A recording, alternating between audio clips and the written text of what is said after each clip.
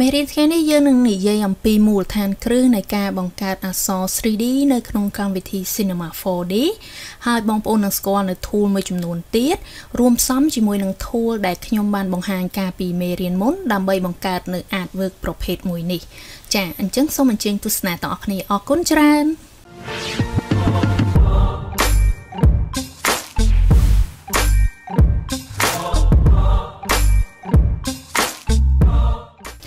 ចាឥឡូវនេះយើងកំពុងតែនៅក្នុងផ្ទាំង workspace នៃកម្មវិធី Cinema 4D R23 ណាឥឡូវនេះមុននឹងយើងឈានចូលទៅធ្វើ artwork ដែលខ្ញុំបានបង្ហាញបងប្អូននេះ artwork ប្រភេទនេះឥឡូវខ្ញុំមកបង្ហាញបងប្អូនពីរបៀបនៃការបង្កើតអក្សរ 3D នៅក្នុងកម្មវិធី Cinema 4D ជាមុនសិនអូខេអញ្ចឹងអានេះផ្ទាំងនេះពេលផ្ទាំង workspace ថ្មីតែម្ដងអញ្ចឹងអឺ ដើម្បីមុននឹងយើងធ្វើកិច្ចការងារយើងទៅបង្កើតយើងទៅ set up នៅផ្ទាំងការងាររបស់យើងជាមុនសិនដូចជាយើង set up document នៅក្នុងកម្មវិធី Photoshop ឬក៏កម្មវិធីផ្សេងផ្សេងដូចគ្នាអញ្ចឹងដែរអញ្ចឹងយើងត្រូវចូលទៅក្នុង edit render setting ហ្នឹងអូខេហើយយើងទៅរកនៅ output អញ្ចឹងផ្ទាំងសិលឹករូបភាពនេះគឺដោយសារតែខ្ញុំធ្វើជាលក្ខណៈរូបភាពអញ្ចឹងខ្ញុំអត់យកជាលក្ខណៈប្រភេទវីដេអូទេខ្ញុំចាំថាខ្ញុំប្រើប្រាស់នៅ preset ដែលខ្ញុំដាក់ខ្លួនឯងគឺ900ហើយនឹង100 OK អាសុំទោសហើយនឹង1000ណា OK អញ្ចឹងលក្ខណៈប្រឈរបែបហ្នឹង OK អញ្ចឹងបន្តមកទៀតខ្ញុំសូមបង្ហាញពីរបៀបនៃការបង្កើតអក្សរ 3D នៅក្នុងកម្មវិធី Cinema 4D អញ្ចឹងដូចតែខ្ញុំបានប្រាប់ពីមេរៀនមុនអញ្ចឹងដោយសារតែ font Unicode អក្សរខ្មែរយើងគឺអត់ support នៅក្នុងកម្មវិធី Cinema 4D ទេអញ្ចឹងបើនៅពេលដែលយើងចង់អឺធ្វើ artwork ជាប្រភេទអក្សរខ្មែរគឺយើងត្រូវការប្រើប្រាស់អឺ យក path ពីកម្មវិធី Illustrator មកកម្មវិធី Cinema 4D ប៉ុន្តែមុនមុននឹងយើងចូលមកដល់វគ្គយើងធ្វើ artwork ហ្នឹងឥឡូវយើងត្រូវដឹងពីមូលដ្ឋានគ្រឹះនៃការបង្កើតអក្សរសិននៅក្នុង C4D យើងអូខេអញ្ចឹងដើម្បីបង្កើតអក្សរគឺអឺវាមានពីរជំរើសនៅក្នុងអឺ Cinema 4D ដែលបងប្អូនអាចប្រើប្រាស់ជាមួយនឹង Motex ដែលជាប្រភេទ 3D យកតែម្ដង និងមួយទៀតជា Motex ជាប្រភេទ Pad ណា អូខេឥឡូវខ្ញុំសូមបង្ហាញពី Motex ជាប្រភេទ 3D អញ្ចឹងអ្វីដែលបងប្អូនត្រូវចូលទៅហ្នឹងគឺបងប្អូនចូលទៅក្នុង MoGraph អូខេអឺ tick ទៅលើ tab MoGraph ហើយ tick ទៅលើពាក្យ Motex អញ្ចឹង Cinema 4D នឹងឲ្យ text បងប្អូនជា 3D មានកម្រាស់ហើយស្រាប់តែម្ដងណាឥឡូវយើងមកមើល function របស់ Motex ទាំងអស់គ្នាអញ្ចឹងឧទាហរណ៍ថាខ្ញុំអាចអឺ ឥឡូវនេះត្រង់យើង click ទៅលើ Motex ហ្នឹងកន្លែង basic ហ្នឹងគឺដូចអ្វីដែលខ្ញុំបានបង្ហាញការពីមេរៀនមុនអញ្ចឹងគឺដូចគ្នាបែបបិទក៏អត់នេះកន្លែង coordinate នេះក៏ដូចគ្នាដែរណាខ្ញុំអត់បញ្យល់ទេត្រង់ object នេះគឺជាកន្លែងដែលយើងអាចកែសម្រួលនៅអឺ property មួយចំនួនរបស់ text អក្សរ 3D ហ្នឹងអូខេអញ្ចឹងត្រង់កន្លែង depth នេះគឺសំដៅទៅលើ កម្រាស់នៃអក្សរ 3D ហ្នឹងអូខេឥឡូវ default របស់វាមកគឺ20សង់ទីម៉ែត្រអញ្ចឹងបើបងប្អូនចង់តម្លើងវាយើងតម្លើងទៅ គឺវាក្រាស់ជាងមុនហើយឃើញទេហើយបើយើងចង់បន្ថយវា គឺវាស្ដើងស្ដាងជាងមុនហើយបើយើងបន្ថយជាលក្ខណៈដកវិញវានឹងបដូរទៅក្រាស់តាមប្រភេទដូចតែគ្នាទេណាអូខេឥឡូវយើងដាក់20ត្រែចុះអឺ ត្រង់ subdivision នេះសំដៅទៅលើ subdivision របស់អអក្សរ text ហ្នឹងបើបងប្អូនមើលនឹងភ្នែកបែបនេះបងប្អូនអត់ឃើញទេអញ្ចឹងអ្វីដែលយើងត្រូវដូរហ្នឹងគឺយើងត្រូវចូលទៅក្នុង display ហើយយើងដាក់ display view ហ្នឹងទៅជា gradient shading line ឲ្យវាឃើញប្រភេទខ្សែវិញអូខេអញ្ចឹងឥឡូវនេះខ្សែរបស់ subdivision របស់យើងហ្នឹងគឺតែមួយទេបើយើងតម្លើងបងប្អូនឃើញនៅចំហៀងនេះទេគឺវាឡើងឡើង2 ឡើង3ឡើង4អឺគេកែសម្រួលនៅ subdivision នេះនៅពេលដែលគេចង់សម្រាប់ text ហ្នឹងទៅជា object ធម្មតា object មួយដែលយើងត្រូវការ modeling model វាផ្សេងផ្សេងទៀតអញ្ចឹងណាអញ្ចឹងយើងអត់មានកែសម្រួលអីទេនៅត្រង់កន្លែងនេះពីព្រោះយើងអត់មានត្រូវការ merge object merge text ហ្នឹងទៅជា object ដែលយើងត្រូវការកែសម្រួលទេលើយើងដាក់លេខ1ធម្មតាវិញអឺត្រង់កន្លែង font នេះគឺជាកន្លែងដែលបងប្អូនអាច ផ្លាស់ប្ដូរនៅ font អក្សររបស់ text នឹងបានអូខេបើយើងចុចទៅវាប្រហែលជាចំណាយពេលយូរបន្តិចប្រហែលជា10 second ទៅ20 second ទៅតាមប្រភេទ computer របស់បងប្អូនប្រើណាយើងចុចទៅឥឡូវវា load មកហើយអញ្ចឹងយើងអាចដូរ font តាមដែលយើងអាចជ្រើសរើសណាអឺ font Unicode ក៏មាននៅក្នុងនឹងដែរប៉ុន្តែគ្រាន់តែថាវាអត់ដើរជើងណាអញ្ចឹងបើសិនជាបងប្អូនត្រឹមតែវាយជាតួអក្សរធម្មតាលក្ខណៈ design តួអក្សរធម្មតា គឺអាចប្រើប្រាស់ប្រាការបានណាឧទាហរណ៍ថាខ្ញុំដាក់ទៅ planet OK font នេះចុះ OK OK អញ្ចឹងយើងអាចកន្លែងនេះយើងអាចដូរទៅដាក់ថាពាក្យថាអូខេអឺ YSO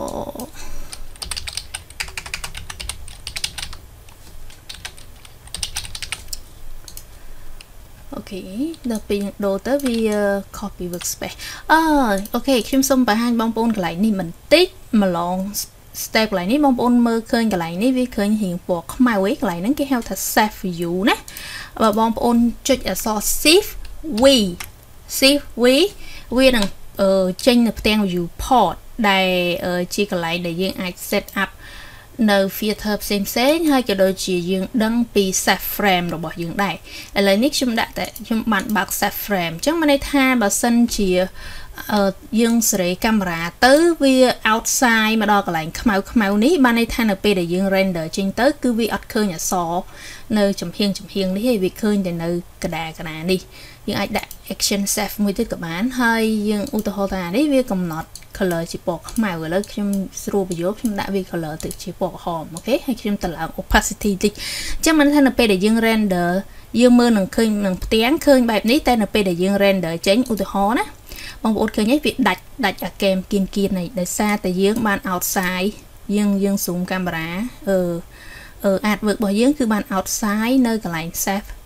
អឺ save frame របស់យើងអញ្ចឹងពេលដែលបងប្អូនធ្វើសូមប្រយ័ត្នកន្លែងនឹងផងនៅពេលដែលចាប់ប្លង់កាមេរ៉ាណាអូខេគ្រាន់តែចង់បង្ហាញពីកន្លែងនឹងបន្តិចឥឡូវយើងត្រឡប់មកអឺត្រឡប់មក motif របស់យើងវិញអឺអូខេដល់កន្លែង font ហើយនេះគឺធម្មតាទេហើយ align នេះគឺដូចជា align font នៅក្នុង tapping នៅក្នុងកម្មវិធីផ្សេងដែរឥឡូវវា align វានៅ left វាមានអាច middle មកចំកដាអូខេហើយនឹង right មកខាងស្ដាំវិញអូខេអឺវាអត់មានអីចម្លែកទេណាកន្លែងហ្នឹងយើងអាចដាក់ align middle បងប្អូនសុំមើលអឺសកេនបន្តិចណាអឺកន្លែងពេលកន្លែង align នេះបើយើងដាក់ left បងប្អូនឃើញ coordinator របស់យើងគឺនៅខាងឆ្វេងណា បើយើងដាក់ middle coordinator coordinator assistant របស់យើងហ្នឹងគឺនៅកណ្ដាលណាហើយបើយើងដាក់ស្ដាំគឺ coordinator assistant យើងគឺនៅខាងខាងស្ដាំណាឥឡូវយើងដាក់ middle គឺនៅកណ្ដាលអឺត្រង់ high នេះសំដៅទៅលើកម្ពស់ទំហំរបស់អក្សរហ្នឹងណាវាខុសពី depth depth គឺកម្រាស់ណាកម្រាស់របស់អក្សរ depth គឺកម្រាស់របស់អក្សរ ហើយសម្រាប់ high នេះគឺសំដៅទៅលើកម្ពស់ទំហំរបស់អក្សរហ្នឹងអូខេអញ្ចឹងអឺដោយសារតែខ្ញុំ set up បែបនេះបប្រហែលជាបងប្អូនពិបាកមើលនៅនៅ artwork បន្តិចឥឡូវយើងយើងដូរ setting របស់យើងទៅលក្ខណៈ wide frame សិនណាទៅលក្ខណៈ full HD សិនចាំពេលដែលយើងធ្វើ artwork យើងមក set up output render setting យើងម្ដងទៀតណា អូខេអឺឥឡូវដល់កន្លែង horizontal space នេះខ្ញុំសំដៅទៅលើ space របស់អក្សរណានេះ space របស់អក្សរអូខេគម្លាតរបស់អក្សរណា and uh, vertical នេះបើសិនជាបងប្អូនឧទាហរណ៍ថាខ្ញុំដាក់នៀតហើយខ្ញុំ enter នៅត្រង់កន្លែងនេះអញ្ចឹង អក្សរ C ហ្នឹងវានឹងមកចុះខាងក្រៅវិញអញ្ចឹងអា vertical spacing ហ្នឹងគឺកម្រិតអក្សរលើក្រោមហ្នឹងឯងអូខេណាអឺ kerning នេះ show you show 3D GUI ខ្ញុំបានថាវានឹង show ជាលក្ខណៈ 3D អញ្ចឹងដែលបងប្អូនអាចកែសម្រួលនៅលើផ្ទាំង workspace យកតែម្ដងណាអូខេត្រឡប់មកវិញទៀតអឺកន្លែង intermediate point អីនេះគឺតកតនឹងខ្សែណា ដោយតែប្រភេទ extrude ពួកអីអញ្ចឹងបើយើងដាក់ uniform ឃើញទេខ្សែរបស់វានឹងទៅជាផ្សេងអញ្ចឹងទៅតាម number ដែលយើងដាក់ណាវាតកតងនឹងបញ្ញា smooth របស់ text ហ្នឹងអឺហើយសម្រាប់ shader index នេះគឺយើងអត់ប៉ះពាល់នឹងកែប្រែអ្វីទេណាឥឡូវយើងចូលមកដល់ cap អញ្ចឹងត្រង់ cap កន្លែងនេះគឺវាប្រៀបដូចជាការកំណត់ set up cap នៅក្នុង extrude generator អញ្ចឹង អញ្ចឹងត្រង់កន្លែង boss បើយើងដាក់ start cap យើងដោះ start cap ចេញវានឹងមានប្រហោង cap cap ហ្នឹងសំដៅទៅលើអាកន្លែងប្រឡោះបិទរបស់របស់ object ហ្នឹងណាអញ្ចឹងបើយើងដោះទាំងពីរវានឹងចេញប្រឡោះបែបនេះ តែបើយើងដាក់នេះបិទពីមុខតែ ប្រឡោះពីក្រោយបើនេះគឺគឺបិទចិត្តបិទចិត្តទាំងពីរណាហើយបើ bevel នេះសំដៅទៅលើ cam អញ្ចឹងអានេះអឺកែមវាយើងអត់ទាន់បានដាក់ smooth rounding អីទេបើយើងវាមានអឺប្រភេទជាច្រើនមែនតើនៅក្នុងចាប់ពី R21 ឡើងទៅអញ្ចឹងបាទនេះបើសិនជាវានៅ default វា round នៅពេលដែលបងប្អូន increase វាតម្លើងវាទៅឃើញហីឃើញកែមវាកន្លែងនេះវាឡើងឡើង smooth ទេអូខេហើយបើយើងចុច extend shape បានន័យថាវានឹងកើនវានឹង extend shape ពីកន្លែង ពីកន្លែងប្រឡោះរបស់របស់ bevel នឹងយើងនឹងទៀតអញ្ចឹងយើងយើងអាច play around បានន័យថាយើងយើងតេស្តជាមួយកន្លែងហ្នឹងទាំងអស់គ្នាតិចទៀតណានៅនៅពេលដែលបងប្អូនស្រាវជ្រាវយើងតេស្តថានៅពេលដែលយើងបើក extend shape និងដោះ extend shape ទៅតើវាខុសប្លែកគ្នាមិនហើយកន្លែង segment នេះសំដៅទៅលើ segment របស់ bevel bevel game គៀនគៀនហ្នឹង អញ្ចឹងឥឡូវវាមាន3អញ្ចឹងវា3វាអត់សូវ smooth ទេបើយើងតឡើងជាងនឹងទៀតវានឹងធ្វើឲ្យ game ហ្នឹងកាន់កាន់តែ smooth ណាហើយសម្រាប់ចាប់ពី Cinema 4D R 20 20ក៏21ខ្ញុំផ្លេចឯគឺវាមាន function មួយ គឺនៅពេលដែលយើងចុច load preset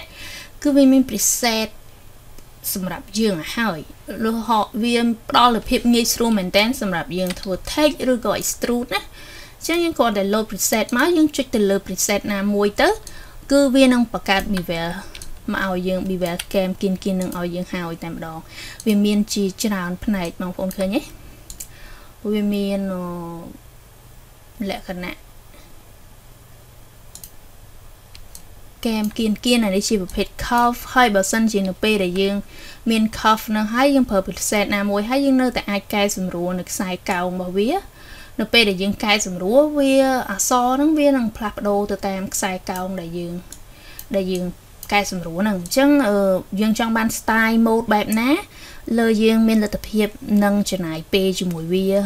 បានកម្រិតណាណាអូខេហើយនៅពេលដែលយើងពេញចិត្តឧទាហរណ៍ថាខ្ញុំកែសម្រួល take ទៅជាបែបនេះណានៅពេលដែលខ្ញុំពេញចិត្តនៅប្រភេទឥឡូវយើងសុំ render បន្តិចទៅ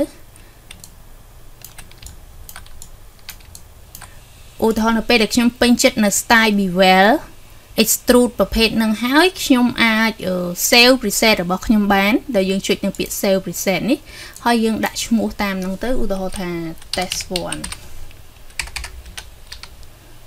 អូខេ test 1អូខេអញ្ចឹងទៅអញ្ចឹងនៅពេលដែលខ្ញុំបដូរ preset ឧទាហរណ៍ខ្ញុំបដូរទៅផ្សេងណាអានេះខ្ញុំបដូរទៅផ្សេងអញ្ចឹងខ្ញុំចង់បាន preset ដែលខ្ញុំ save មិញវិញយើងអាចចូលទៅ load preset នឹងដដែលមកហើយយើង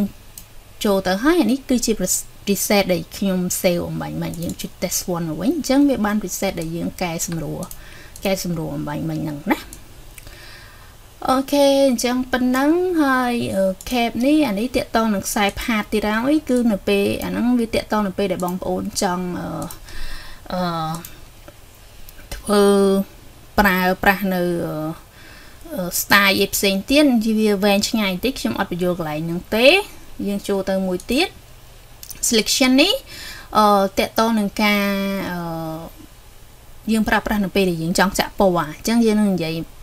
បន្តិចទៀតនេះអូខេយើងនិយាយហើយក៏បានដែរអឺឧទាហរណ៍ខ្ញុំបង្កើត material មួយឧទាហរណ៍ណាអូខេពណ៌ខៀវចុះអញ្ចឹងខ្ញុំចាក់ទៅលើ motif ហ្នឹងអញ្ចឹង material នេះគឺវានៅលើអក្សរ text ទាំងអស់ហ្នឹងហើយ ហើយអញ្ចឹងខ្ញុំបង្កើតមេត្រីមួយទៀតឧទាហរណ៍ថាពណ៌លឿងពណ៌តក្រូចុះអញ្ចឹងអឺខ្ញុំដាក់ពីលើអញ្ចឹងបើសិនធម្មតាបើយើងចូលទៅក្នុង selection វាមាន shell យើង enable វាទៅឧទាហរណ៍ណាយើងឥឡូវយើងមិនបាច់ enable វាក៏បានដែរយើងមើលនៅ shortcut នៅកន្លែងនេះអញ្ចឹងអឺ ជាទូទៅអ្វីដែលយើងប្រើប្រាស់ញឹកញាប់ជាងគេគឺ C1 C2 R1 R2 ភាគច្រើនប៉ុណ្ណឹងអាប្រភេទនេះពេលខ្លះវាអត់ដើរទេអញ្ចឹងឧទាហរណ៍ថាខ្ញុំចុចទៅលើ metria ពណ៌ទឹកក្រូចនេះខ្ញុំវាយពាក្យ C1 អក្សរធំណា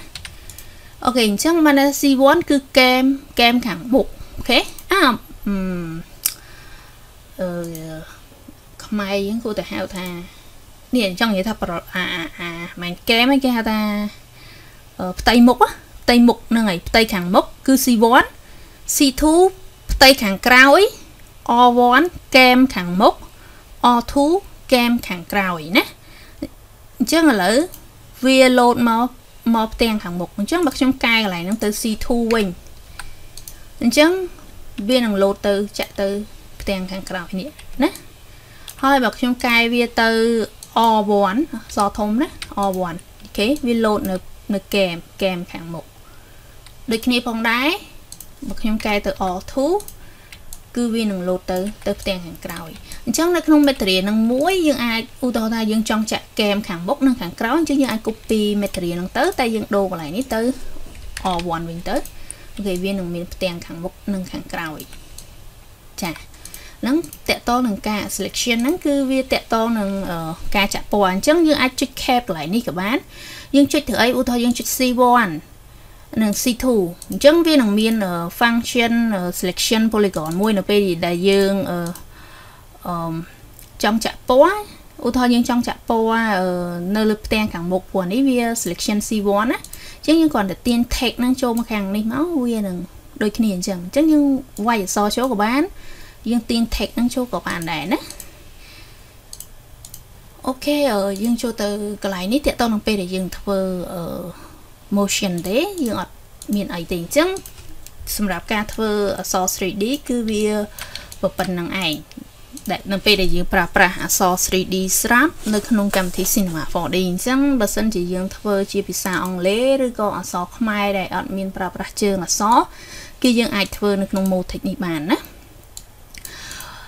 តែខ្ញុំ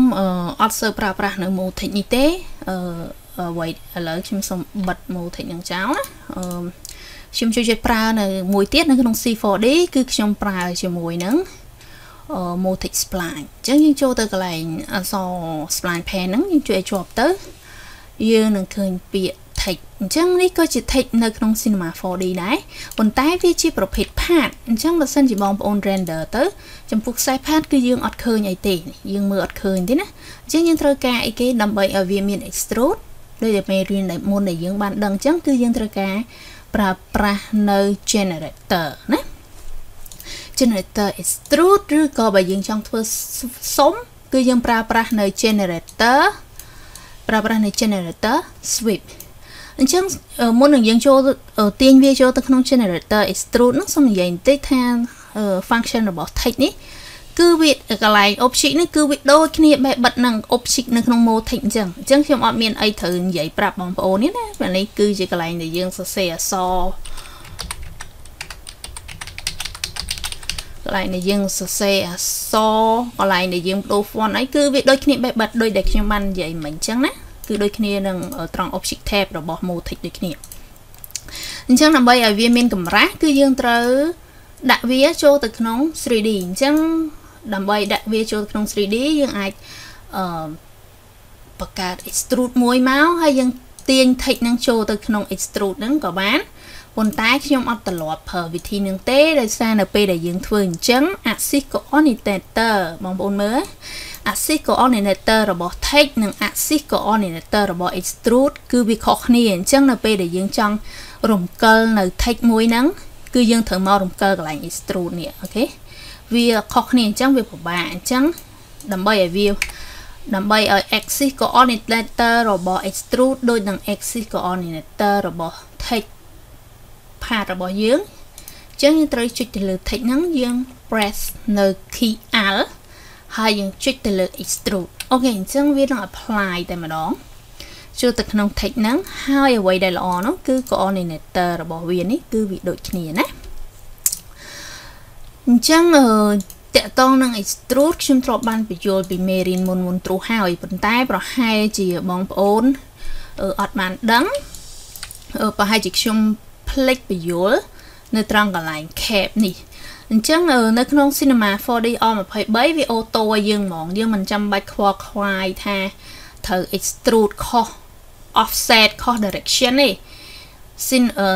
Cinema 4D R23 វាស្គាល់អូតូដែរម្ដងថា direction នឹងត្រូវទៅកន្លែងណា ដើម្បីចេញកម្រាស់ណាអូខេអញ្ចឹងឥឡូវវាអូតូយើងគឺវាបានកម្រាស់ 3D តែម្ដងហើយយើងអាចកែសម្រួលកម្រាស់នៅត្រង់កន្លែង offset នេះ ណាហើយ subdivision គឺដូចដែលមិនដូចតែ motic អញ្ចឹងដែរគឺ subdivision នៅត្រង់កន្លែងនេះហើយ hierarchical នេះយើង tick នៅពេលណាដែលយើងយក path មកច្រើនពី Illustrator បន្តិចទៀតបងប្អូននឹងដឹងអូខេឥឡូវយើងចូលទៅក្នុង cap អញ្ចឹងត្រង់កន្លែង cap នេះគឺវាដូចគ្នាបេះបិទទៅនឹង motic ដែលខ្ញុំបានបង្ហាញបងប្អូនមិញអញ្ចឹងណាគឺវាដូចគ្នាបេះបិទអញ្ចឹងយើងអាច load preset មកមិញ ដែលយើងបាន save មិញក៏បានឬក៏ preset នៅក្នុង Cinema 4D មកហ្នឹងក៏បានដែរណាអូខេអញ្ចឹងអញ្ចឹងវាដូចគ្នា selection នេះគឺដូចគ្នាអញ្ចឹងចាក់ពណ៌ C1 R1 R2 អីហ្នឹងគឺដូចគ្នាអញ្ចឹងអា material នេះគឺវាមានជាប់នៅនៅ selection ហើយអញ្ចឹងបងប្អូនបើចង់ចាក់ទៅលើអក្សរនេះយើងអាច copy ទៅយើងអាច copy ហើយយើងចុច control ហើយយើងទាញទៅលើនេះទៅវានឹង copy មក ចូល text extrude របស់យើងហើយ selection គឺដូចគ្នាណាអញ្ចឹងសង្ឃឹមថាបងប្អូនទាញនឹង selection ចំពោះ material អញ្ចឹងនៅពេលដែលយើងចាក់អានេះគឺចាក់ទូទៅ តែបងប្អូនត្រូវចំណាំតិចទោះបីជាបងប្អូនចាក់នេះ R1 R2 ប៉ុន្តែបើបងប្អូនអា default របស់វានេះបងប្អូនដាក់វានៅខាងមុខអញ្ចឹង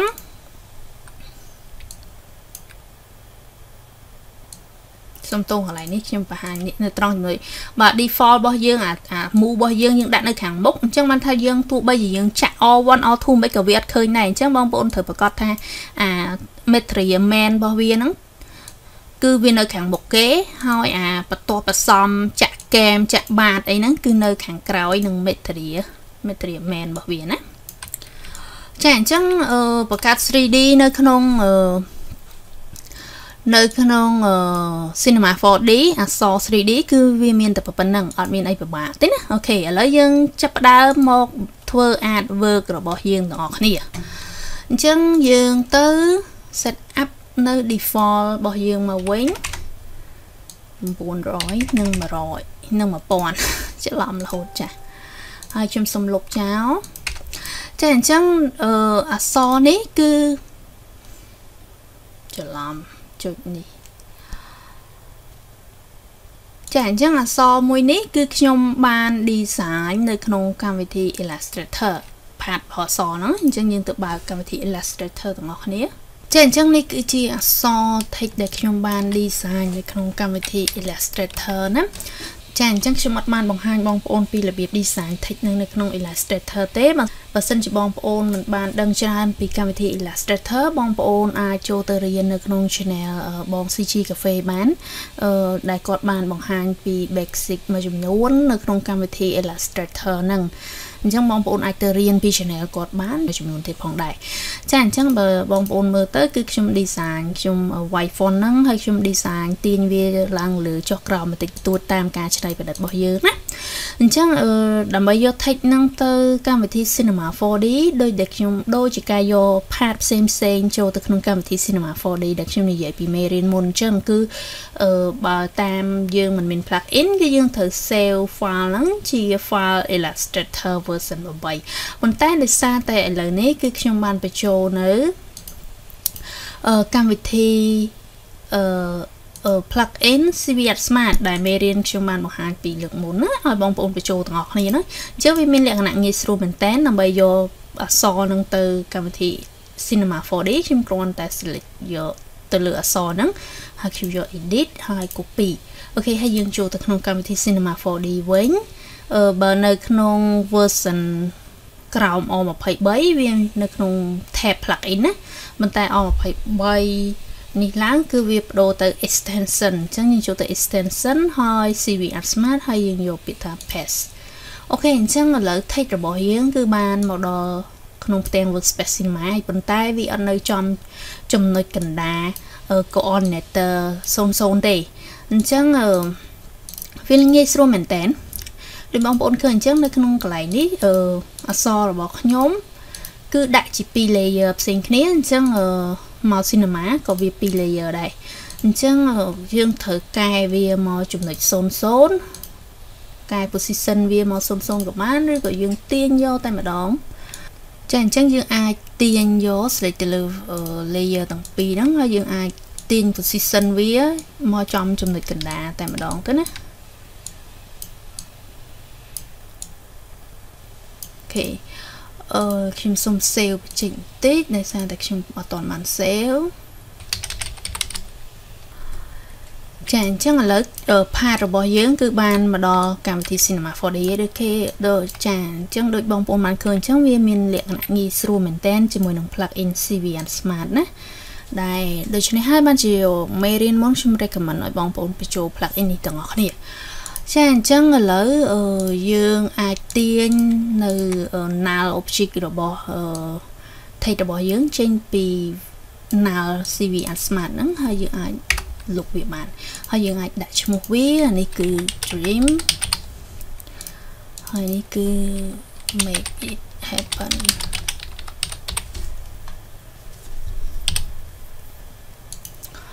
អូខេអញ្ចឹងឥឡូវយើងមើលទៅមើល artwork របស់យើង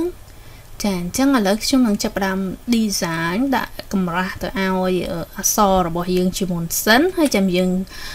ឆ្នៃនៅ element ផ្សេងផ្សេងបន្តទៀតណាឥឡូវអានេះគឺជាផាតក្តីស្រមៃអក្សរខ្មែរហ្នឹងអញ្ចឹង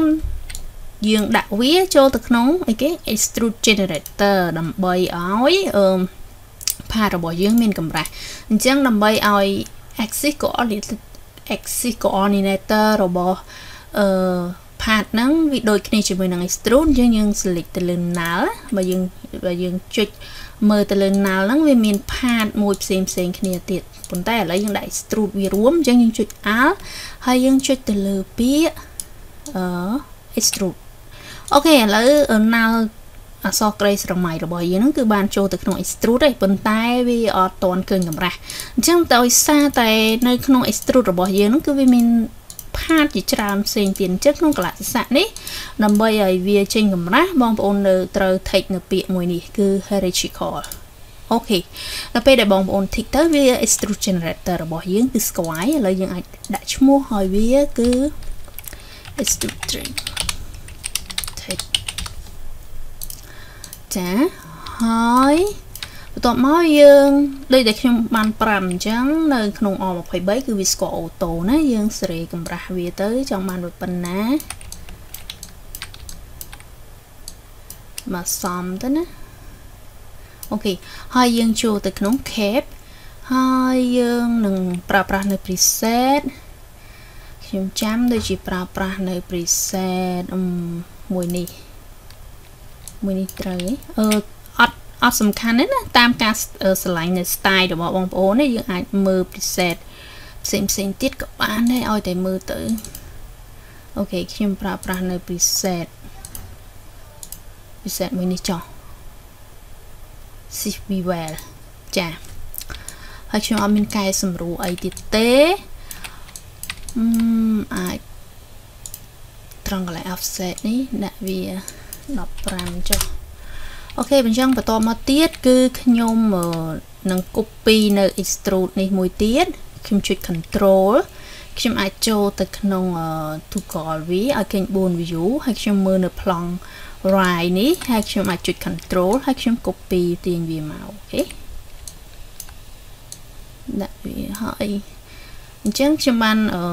copy នៅ extrude របស់ពាក្យ ក្រីស្រមៃនឹងមួយទៀតអូខេហើយខ្ញុំដាក់វាចូលទៅក្នុងក្រុមមួយខ្ញុំ select ទាំងពីរយើងអាច right click ហើយយើងអាចដាក់ថាអឺក្រុម object ឬក៏យើងអាចប្រើប្រាស់ជាមួយនឹង shortcut alt G អូខេហើយអានេះយើងដាក់ថា dream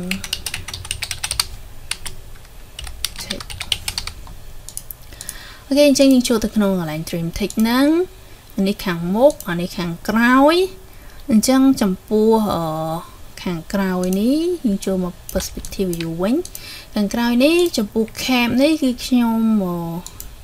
យកវាធម្មតា round វាធម្មតាវិញអត់មានយើងអាចដាក់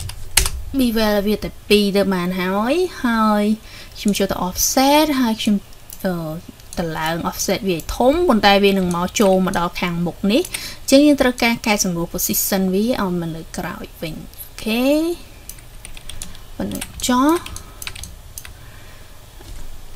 គេមករកនេះអូខេពីក្រោយពណ៌ផ្កាឈូកនេះណាអញ្ចឹងបន្តមកទៀតយើងធ្វើនៅអក្សរតូចនេះដូចគ្នាអញ្ចឹងអក្សរតូចហ្នឹងគឺ make it happen ហ្នឹងគឺយើងដាក់ extrude ដូចគ្នាអញ្ចឹងយើង tick ទៅលើ null path ហ្នឹងទៅចុច alt ហើយយើងចុច extrude អូខេវាអត់ទាន់ចេញយើង tick ទៅលើ hierarchical ហើយយើងកែសម្រួលនៅកែសម្រួលនៅ offset depth របស់វាគេហើយ cap អានេះខ្ញុំអត់លេង style ទេខ្ញុំគ្រាន់តែដាក់តម្លើងវាឲ្យវាមាន smooth cam គៀនគៀនតិចតិចតិចណាអូខេប៉ុណ្្នឹងចុះ ហើយយើង copy វាមកតង់ទៅដូចគ្នាចុច control ហើយយើងទាញមកហើយអាខាងក្រោយយើងអាចដាក់វាឲ្យធំជាងនឹងទីទៅកែសម្រួលទីតាំងវាអូខេសាមញ្ញសាមញ្ញមែនតើហើយលឿនមែនតើក្នុងការធ្វើអក្សរ 3D នេះអូខេអញ្ចឹងបន្ទាប់មកបន្ទាប់ពីយើងបាននៅអក្សរ 3D របស់យើងដែលជា main element នៅក្នុង artwork មួយនេះគឺយើងបានធ្វើហើយ អឺឥឡូវនេះយើង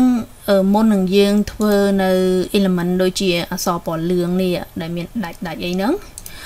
អឺយើងទៅបង្កើត background ទៅឲ្យវាជាមុនសិនអញ្ចឹង background នេះគឺ background ហ្នឹងអឺយើងអាចបងប្អូនអាចប្រើប្រាស់ជាមួយនឹងអឺ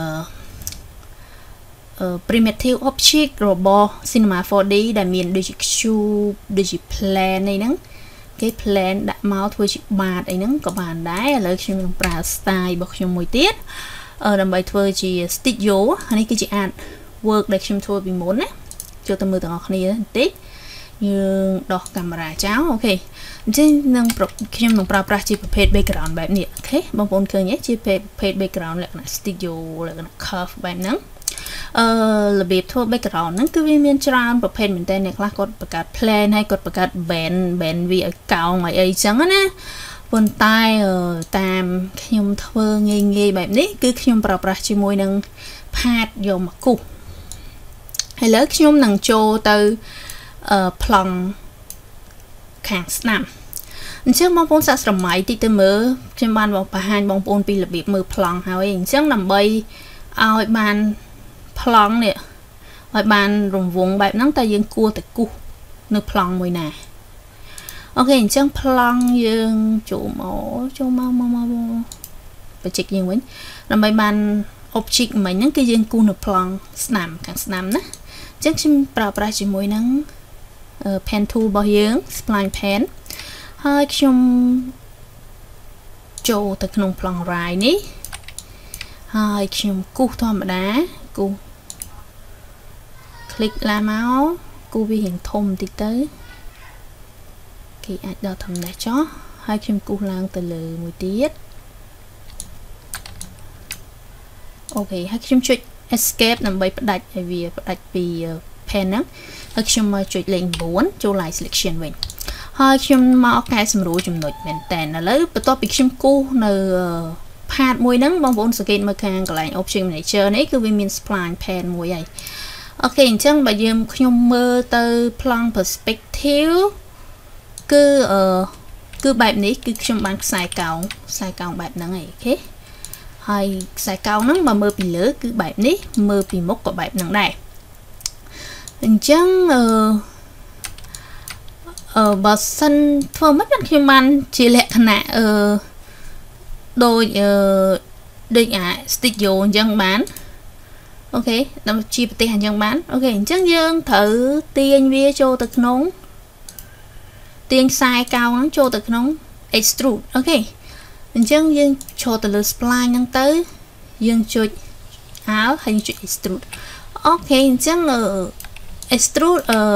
អ23វាស្គាល់អូតូអញ្ចឹងបើឧទាហរណ៍ថាបងប្អូននៅ version ចាស់អញ្ចឹងបងប្អូនគួរតែ extrude ខ្សែកោងហ្នឹងនៅលើអាអីដែរ asset ធម្មតា default វា asset បើបងប្អូន extrude នៅ asset គឺវាអត់ស្គាល់ណាវាឃើញ flat អញ្ចឹងអា y អា y ក៏ស្គាល់ដែរ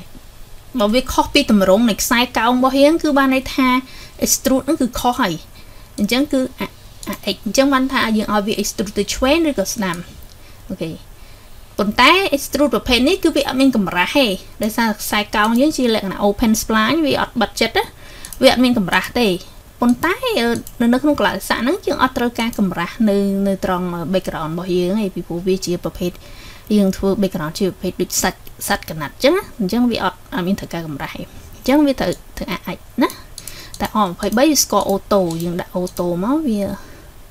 ចង់ extrude មកខាងហ្នឹងក៏បានដែរអូខេអញ្ចឹងយើងបាន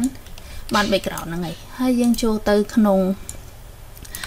plan front យើងហើយនេះយើងអាច rename វាថា background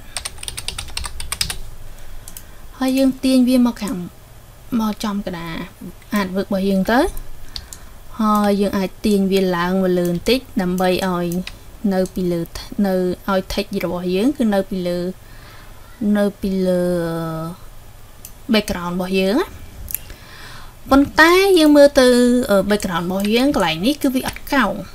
អូខេវាអត់កោងទេ អ្វីដែលយើងចង់បានគឺកន្លែងកន្លែងកែងហ្នឹងគឺវាកោងណាអញ្ចឹងយើងអាចចូលទៅកែសម្រួលទៅលើអឺ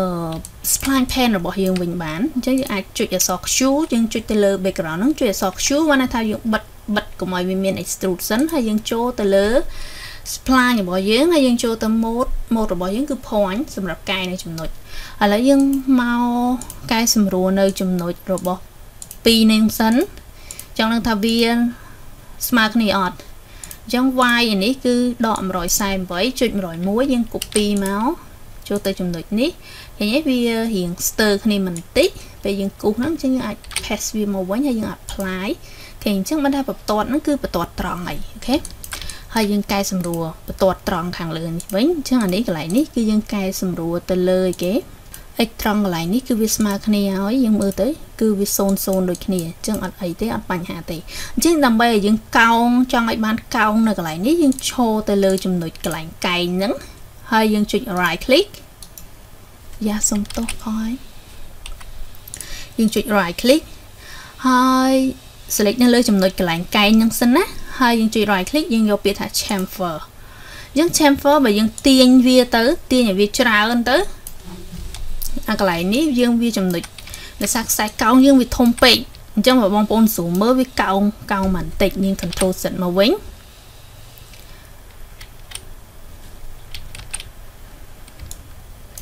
ខ្ញុំមានអារម្មណ៍ថាខូចខ្សែកោងអូខេឥឡូវនេះវាមានលក្ខណៈខ្សែកោងវាលក្ខណៈអឺអឺ spline របស់យើងគឺមិញហ្នឹងវាខុស ខុសបន្តិចនៅពេលដែលខ្ញុំចុច chamfer ហ្នឹង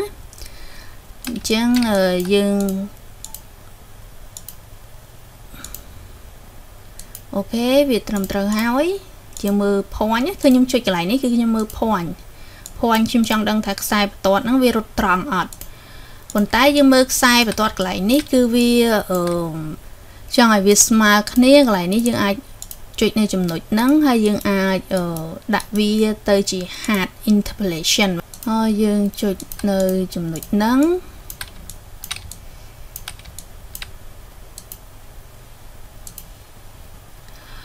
អឺសូមប្រយ័ត្ននៅកន្លែងនេះបន្តិចនៅត្រង់នៅពេលដែលបងប្អូនគូសនៅខ្សែកោងអញ្ចឹងបងប្អូនមើលចំណុចនៅកន្លែងនេះចំណុចសិតវាគឺនៅ 102.458ហើយនេះគឺ99អញ្ចឹងមិនថាវាអត់វាអត់ស្មើគ្នាអញ្ចឹងយើងមើលវាអត់ស្មើគ្នាអញ្ចឹងមកបងប្អូនមើលនៅផ្ទាំង view port បានន័យថាបន្ទាត់ហ្នឹងគឺវាអត់រត់ស្មើគ្នាទេកន្លែងហ្នឹងខ្ញុំច្រឡំណាមិនមើលកន្លែងត្រង់ x ទេយើងមើលចំណុចនៅត្រង់កន្លែងសិត អញ្ចឹងដើម្បីឲ្យបន្ទាត់ហ្នឹងវារត់ឡើងទៅលើត្រង់ត្រង់ស្មើគ្នាយើងត្រូវកែសម្រួលនៅ point set នេះអញ្ចឹងយើងអាចគប់យើងចុច select នៅ point ខាងលើទៅណាចុច select នៅ point ខាងលើហើយយើង copy position set នៅ point ខាងលើនឹងមក control C ហើយយើងចូលទៅ point ខាងក្រោមយើង paste វាមកហើយយើង apply អូខេវាខុសគ្នាបន្តិចបន្តិចបន្តួចទេ តែយើងចង់ធ្វើឲ្យវាត្រង់ស្មើណាចាំបានថាឥឡូវនេះខ្សែកោងនេះគឺវាបានស្មើគ្នាល្អហើយណាអញ្ចឹងដើម្បីឲ្យកន្លែងនេះកោងយើងត្រូវដាក់យើងចុចទៅលើ point ដូចខ្ញុំនិយាយអញ្ចឹង point កណ្ដាលហ្នឹងហើយយើងចុច right click ហើយយើងយកពាក្យថា chamfer ហើយយើងមិនចាំបាច់ទាញទេដោយសារខ្សែកោងនឹងវាធំពេកអញ្ចឹងយើងពិបាកទាញអញ្ចឹងយើងកំណត់ radius នៅត្រង់កន្លែងនេះអញ្ចឹងកន្លែងនេះយើងត្រូវកំណត់ radius ឲ្យច្រើនបន្តិចដោយសារតែខ្សែកោងរបស់យើងគឺវាធំអញ្ចឹងខ្ញុំអាចដាក់ radius 100 ហើយខ្ញុំដាក់ apply អូខេបងប្អូនឃើញទេឥឡូវកន្លែងហ្នឹងវាវាកោងខ្ញុំដាក់100ហើយវានៅតែរៀងកោងបន្តិចទៀតអញ្ចឹងយើងចង់ឲ្យកោងខ្លាំងយើងអាចតឡើងទៅ OK អត់អីទេណាយើងតឡើងបន្ថែមទៅបន្ទាប់ពីយើងដាក់100ហើយ OK យើងអាចដាក់តឡើងឲ្យដល់តាម300ទៅបានហើយ OK 300បានហើយចូលមក model វិញហើយយើងបើក extrude យើងវិញទៅ យើងទៅមើល OK ឥឡូវ background របស់យើងគឺបងប្អូនឃើញគឺវាកោងកន្លែងហ្នឹងហើយណា OK ហើយយើងអាចអាសុំទោសយើងអាចអឺ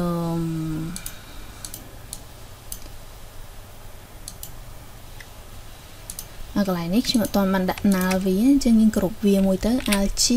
ហើយយើងដាក់ថា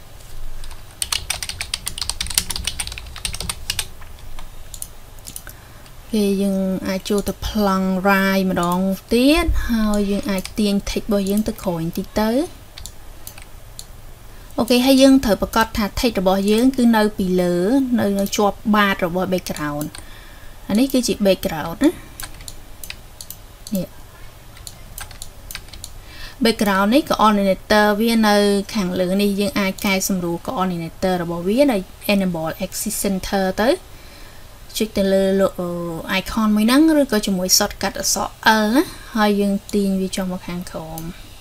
ហ្នឹងយើងកែសម្រួល axis center របស់វាដើម្បីងាយស្រួលក្នុងការយើង move object ហើយបន្ទាប់មកយើងបិទវាមកវិញមកអូខេចឹងអាបន្ទាត់ឆ្នោតមួយហ្នឹងគឺជា background ណាអាបន្ទាត់ឆ្នោតមួយនេះនេះគឺជា background អញ្ចឹង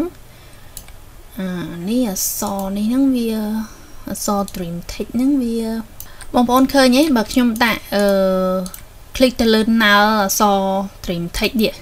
អញ្ចឹង axis center របស់យើងគឺនៅចំចំណុចកណ្ដាលអញ្ចឹងនៅពេលដែលបងប្អូនចង់កែចង់យ៉ាសុំទោសចង់មូទីតាំងឧទាហរណ៍ថាយើង zoom កាន់តែជិចកាន់តែចិត្តទៅយើងចង់មូទីតាំងពេលខ្លះវាមានការពិបាកដោយសារតែអា coordinator របស់វាគឺនៅខាងលើអញ្ចឹងយើងអាច enable axis center របស់វាហើយដាក់វានៅខាងក្រោមទៅ គឺដើម្បីឲ្យយើងមានភាពងាយស្រួលក្នុងការបំលាស់ក្នុងការផ្លាស់ប្ដូរទីតាំងអានេះវាផុតឲ្យចូលទៅក្នុងបាតឃើញទេយើងអាចដាក់មកល្មមស្មើអូខេអានេះដូចគ្នាដោយសារអានេះវាទូចអត់អីទេថេចយោ make it happen នេះ text វាតូចវាយើងស្រួលមើលទេដែរអា trim text របស់យើងនេះ make text វាធំអញ្ចឹងបានយើងខ្ញុំដាក់ axis center របស់វានៅខាងក្រោមវិញអូខេអញ្ចឹងយើងបានប៉ុណ្ណឹងហើយអីមានអារម្មណ៍ថាវានៅចំកណ្ដាលមែនទេអញ្ចឹងយើងអាចកែកែ background យើងមិននៅចំកណ្ដាលមកមើលប្លង់ perspective ក៏បានមើលប្លង់ front នេះក៏បានដែរអូខេ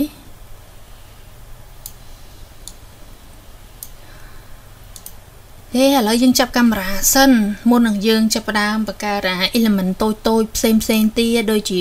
ribbon ដូចជាអាបាសសរអីផ្សេងផ្សេងហ្នឹងចឹងយើងចាប់កាមេរ៉ាហើយយើងចូលទៅក្នុងកាមេរ៉ា create កាមេរ៉ាហើយយើងបើកវាឲ្យឃើញពណ៌សហ្នឹងអូខេយើងប្រើ lens 36នឹងចោះ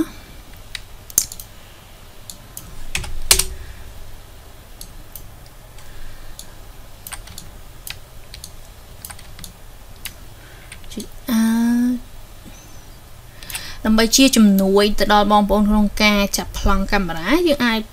ឈរទៅលើកាមេរ៉ាហ្នឹងហើយកន្លែង composition យើងអាចបើក grid បាន rule of third ហ្នឹងហើយយើងចាប់ប្លង់ឲ្យវាត្រូវជាមួយនឹង rule offset របស់យើងទៅអក្សរហ្នឹងគឺនៅកន្លែងប្រឡោះកដាទាំងពីរហ្នឹងទៅអូខេខ្ញុំចាប់ប្លង់កាមេរ៉ាអញ្ចឹងចុះណា វាមិនអាចដូចបេះបិទនឹងអាការងារចាស់ទេប៉ុន្តែយើងចាប់ថ្មីយើងចាប់តាមប្រភេទបែបហ្នឹងចុះអឺបន្ទាប់ពីខ្ញុំចាប់កាមេរ៉ាហើយខ្ញុំចង់ protect កាមេរ៉ាហ្នឹងកុំឲ្យខ្ញុំច្រឡំក្នុងការអឺក្នុងការច្រឡំប៉ះកាមេរ៉ាអីចឹងខ្ញុំអាច protect វាបានដោយ right click ហើយខ្ញុំចូលទៅ rigging tag ហើយ rigging tag ហើយខ្ញុំយក protection ណាអញ្ចឹងមកនៅពេលដែលខ្ញុំដាក់ protection tag ទោះបីជាខ្ញុំបើកកាមេរ៉ាតែខ្ញុំប៉ះ move អីទៅយ៉ាសុំទោសខ្ញុំប៉ះ move កាមេរ៉ាគឺអត់បានទេអញ្ចឹងខ្ញុំអាចដោះកាមេរ៉ាចេញសិនដើម្បី zoom មើលទីតាំងអីផ្សេងផ្សេង ហើយខ្ញុំបើកកាមេរ៉ាមកវិញយើងសង្កេតឃើញថានៅពេលដែលយើងចាប់កាមេរ៉ាប្រភេទបែបនេះឃើញ background វាអត់ full screen ទេមែនទេវាមានឃើញផ្ទាំងខាងឆ្វេងនេះអញ្ចឹងយើងទៅកែសម្រួលនៅ ទំហំរបស់ extrude ហ្នឹងហើយនឹងទីតាំងផងទីតាំងរបស់អឺ background ហ្នឹងអូខេយើង កែស្រួលបានប៉ុណ្ណឹងហើយ តែនៅខាងលើវានៅតែអឺនេះតដែរនៅតែឃើញផ្ទាំងផ្ទៃនឹងតដែរយើងចង់ឲ្យវាបាំងបិទចិត្តហ្មងអញ្ចឹងកន្លែងនេះយើងអាចកែនៅកន្លែង extrude ទៀតបានទេយើងអាចចូលទៅក្នុង4 view ហើយយើងមើលណាយើងរៀនមើលកាមេរ៉ាអញ្ចឹងកាមេរ៉ានេះគឺជា lens របស់កាមេរ៉ាគឺវាបើកមកប៉ុណ្ណឹង អញ្ចឹងបានន័យថានេះគឺជាផ្ទាំង background របស់យើងអញ្ចឹងបានថា background យើងអត់មានដល់ផុតដល់កាមេរ៉ាអញ្ចឹងកន្លែងហ្នឹងគឺឃើញប្រឡោះទំនេរហើយអញ្ចឹងយើងត្រូវទៅកែ pen របស់យើង spline របស់យើងអញ្ចឹងយើងចុចទៅលើចំណុចហ្នឹងមួយយើងឈរទៅលើ move tool ហើយយើងទាញវាមកដល់មកដល់ឲ្យផុតកាមេរ៉ាហ្មងទៅអញ្ចឹងបើយើងត្រឡប់ទៅមើលផ្ទាំងយើងបើក extrude របស់យើងមកវិញឃើញទេឥឡូវអឺផ្ទាំងរបស់យើងគឺបិទចិត្តកាមេរ៉ាតែម្ដងឃើញដោយសារតែវាហួសលែនយើងបានទាញវាហួសលែនកាមេរ៉ាបាត់ហើយណាកន្លែងនេះឃើញយើងនៅមានតិចតិចទៀតហ៎អញ្ចឹងយើងអាចកែសម្រួលទីតាំង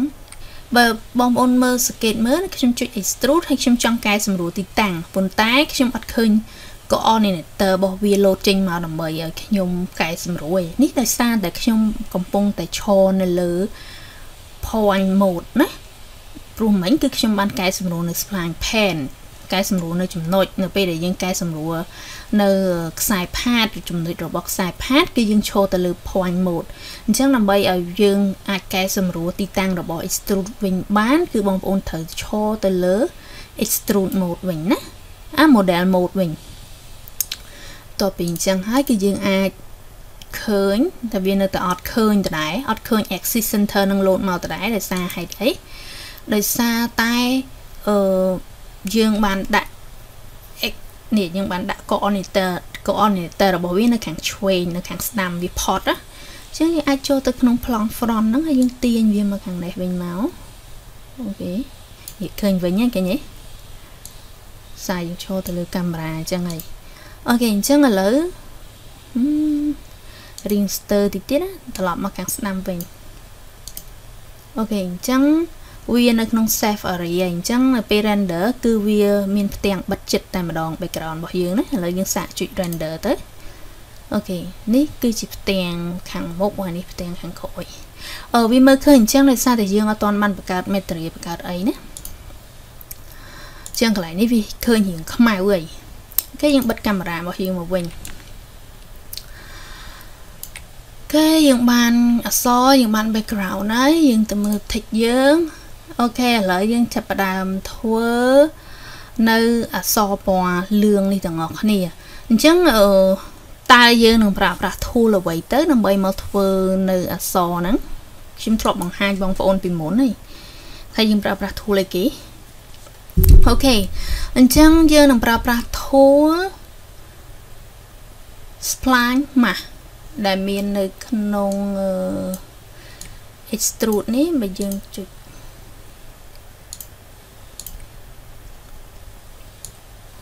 យើងចុចទៅលើ extrude នឹងឲ្យជាប់ទៅយើងនឹងឃើញ tool generator ដែរជាប្រភេទ generator ដែរគឺ spline mask ណាអញ្ចឹងដើម្បី បង្កើតវាវានៅពីលើ text ក្តីស្រមៃនេះមែនទេអញ្ចឹងយើងយក text ក្តីស្រមៃហ្នឹងយកមកធ្វើជា main text របស់យើងទៅដែរណាអញ្ចឹងយើងអាចគប់ចូលទៅក្នុងអឺ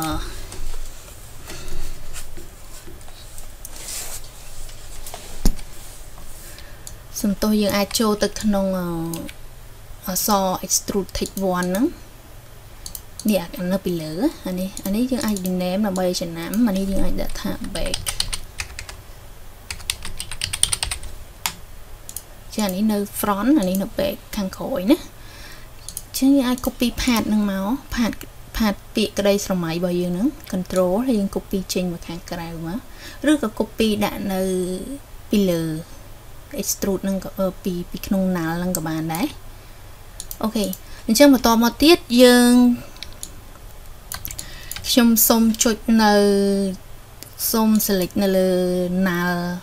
អក្សរពាក្យក្រីស្រមៃហ្នឹងហើយយើងចូលទៅក្នុង solo view solo single មើលអត់ឃើញទៅដែរ select អានេះម្ដងទៀតទាំងអស់ហើយចូលទៅក្នុង view solo single ម្ដងទៀតអូខេដោយសារមិញខ្ញុំ select តំណាល់ select តំណាល់វាអត់ឃើញផាតមកអញ្ចឹងខ្ញុំចង់ឲ្យបងប្អូន focus បដោតទៅលើ text ក្តីស្រមៃនឹងទាំងអស់គ្នាដើម្បីយើងកាត់ផ្ដាច់វាចេញទៅជារៀងជារៀងបែបនេះអញ្ចឹងខ្ញុំនឹងយកខ្ញុំចូលទៅប្លង់ front ចុះណាហើយខ្ញុំនឹងយក pen tool មកហើយខ្ញុំគូសអូខេអាចគូសតាម style បងប្អូននឹកឃើញក៏បានដែរអានេះខ្ញុំគូសតាម style ផ្សេងណា អូខេហើយគូសឧទាហរណ៍គូស style បែបហ្នឹងចុះហើយចុចលេខ9ចុចលេខ9ក៏បានគេចុចលេខ9មក live selection វិញខ្ញុំគូសតាម style បែបហ្នឹងចុះហើយអឺមខ្ញុំទាញ spline ហ្នឹងខ្ញុំអាចដាក់ថា spline mask ដែលខ្ញុំនឹងយក spline មួយហ្នឹងយកមកកាត់ផ្ដាច់វាជាអក្សរបែប អក្សរពណ៌លឿងហ្នឹងណាអញ្ចឹងយើងចូលទៅក្នុងអឺ extrude generator ហ្នឹងចុច click ឲ្យជាប់ទៅហើយយើងចូលទៅពាក្យ spline mask ហើយខ្ញុំទាញ spline mask ហ្នឹងចូលមកក្នុង null trim ហ្នឹងដែរបន្តមកទៀតខ្ញុំយក spline mask ដែលខ្ញុំគូនេះអាផានដែលខ្ញុំគូមិញហ្នឹងហើយខ្ញុំទាញវាចូល spline mask តមកទៀតខ្ញុំទាញអក្សរក្តីស្រមៃផាតរបស់យើងនឹងទាញចូលដែរ អូខេអញ្ចឹងបងប្អូនឃើញទេអឺ spline mask វានឹងអឺ union បានថាវានឹងវារបៀបដូចជា path finder នៅក្នុងកម្មវិធី Illustrator ដែរបានថាវានឹងភ្ជាប់ path ពីរហ្នឹងអានេះដែរនេះជា path A អានេះជា path B ចូលគ្នាអញ្ចឹងតែលទ្ធផលដែលវាចេញឲ្យហ្នឹងគឺអត់ដូចការរំពឹងទុកខ្ញុំទេអញ្ចឹងខ្ញុំត្រូវចូលទៅក្នុង spline mask ហើយនេះខ្ញុំអាចដាក់ដាក់ថា spline mask trim ហើយយើងឲ្យយើងដឹងអញ្ចឹងណាខ្ញុំត្រូវចូលទៅក្នុង spline mask ហ្នឹងហើយខ្ញុំកែនៅ mode មួយនេះអញ្ចឹងឥឡូវវា union វារួមបញ្ចូលគ្នាបើខ្ញុំសាកយក a subtract b អូខេបងប្អូននឹងឃើញបែបនេះ a គឺសំដៅទៅលើ part ដែលនៅពីលើ B សំដៅទៅលើ part ដែលនៅខាងក្រោមណាឃើញបែបហ្នឹងក៏វាអត់តន់ ត្រឹមត្រូវអ្វីដែលខ្ញុំចង់បានទេឥឡូវខ្ញុំដូរទៅ B subtract A អូខេ B subtract A វាចេញមកបែបនេះក៏វាអត់អត់ដូចនៅអ្វីដែលខ្ញុំចង់បានដែរពីព្រោះយើងក៏លេខមើលទៅ text របស់យើងគឺនៅខាងក្រោមបែបនេះអញ្ចឹងខ្ញុំអាចចូលអីបានទៀតខ្ញុំអាចចូល n ចាអញ្ចឹងនៅពេលដែលខ្ញុំដាក់ n គឺខ្ញុំបានលទ្ធផលដែលខ្ញុំចង់បានបែបនេះឬក៏ចូល or or អត់កើតទេ intersection ក៏ដែរអញ្ចឹងលទ្ធផលដែលខ្ញុំត្រូវបាននេះចង់បានគឺ n អញ្ចឹងខ្ញុំចង់បានតែប្រឡោះបន្តិចបន្តិចទេដែលវានៅផ្ដាច់នៅខាងខាងក្រោមនេះអញ្ចឹងយើងអាចបើយើងអត់ពេញចិត្តនឹង result ដែលយើងយកអឺដែលយើងយក mode n ហ្នឹងទេយើងអាចកែសម្រួលកន្លែង spline pan នេះយើងអាចកែសម្រួលទីតាំងរបស់វាទៅOK បងប្អូនឃើញទេវានឹងចេញ ចេញនៅលក្ខណៈផ្សេងផ្សេងពីនឹងឬក៏ឥឡូវខ្ញុំសុំបិទ spline មកបន្តិចឬក៏បងប្អូនអាចទាញ file dream នេះឡើងមកខាងលើហើយ spline មកនៅខាងក្រោមវិញ OKហើយខ្ញុំយកនៅពាក្យ a subtract b អូខេវាមានបញ្ហា error មួយចំនួន b subtract a វាមានបញ្ហា error មួយចំនួនដោយសារតែអឺអា file stream របស់យើងនេះគឺវានៅក្នុង layer វាមាននៅក្នុង layer ច្រើនណាអញ្ចឹងយោបល់ល្អបើសិនជាបងប្អូនប្រកាសថាយកផាតអសរក្តីសម័យហ្នឹងអត់មានកែកុនអីទៀតទេ យើងត្រូវមើលផាតហ្នឹងមើលផាតទាំងអស់គ្នាខ្សែផាតទាំងអស់ហ្នឹងទៅជាផាតតែមួយណាអូខេអញ្ចឹងឥឡូវបើបងប្អូនចូលទៅក្នុង null stream ហ្នឹងគេនិយាយអសរម៉ូមានមួយផាតស្រៈអៃមានមួយផាតអសរសមួយផាតអញ្ចឹងយើងត្រូវធ្វើអាមួយផាតអាផាតរួមទាំងអស់ហ្នឹងទៅជាមួយផាតអញ្ចឹងមើលវាទៅជាមួយផាតយើង select ទៅលើ null ហ្នឹងទៅហើយយើងអាចយក right click ហើយយើងយកពី select children ហើយយើងយក right click ម្ដងទៀតកុំព្យូទ័រខ្ញុំដូចចង់មានបញ្ហាមិនទេហ៊ានដើរអាក់អាក់ហើយយើងយកពី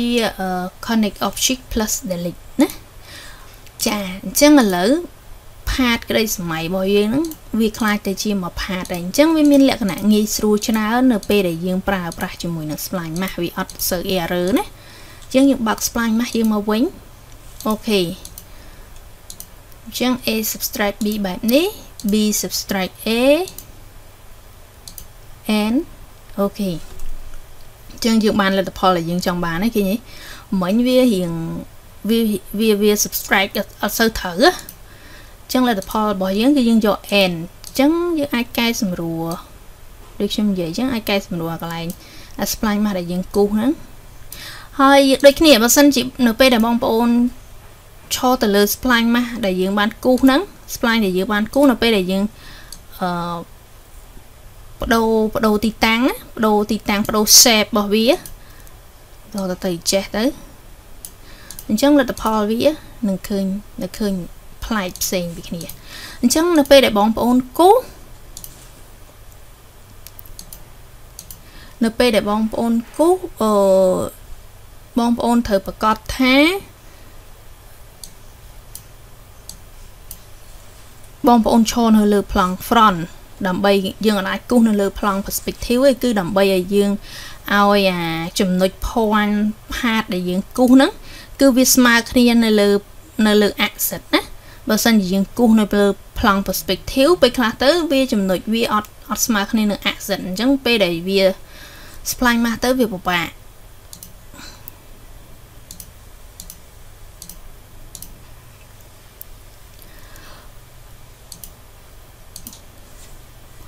ប៉ុន្តែអឺ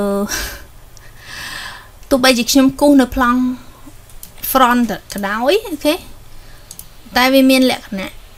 វាមានបញ្ហាស្មុគស្មាញទៀតហើយដោយសារតែ spline mask ដែលខ្ញុំគូសនេះ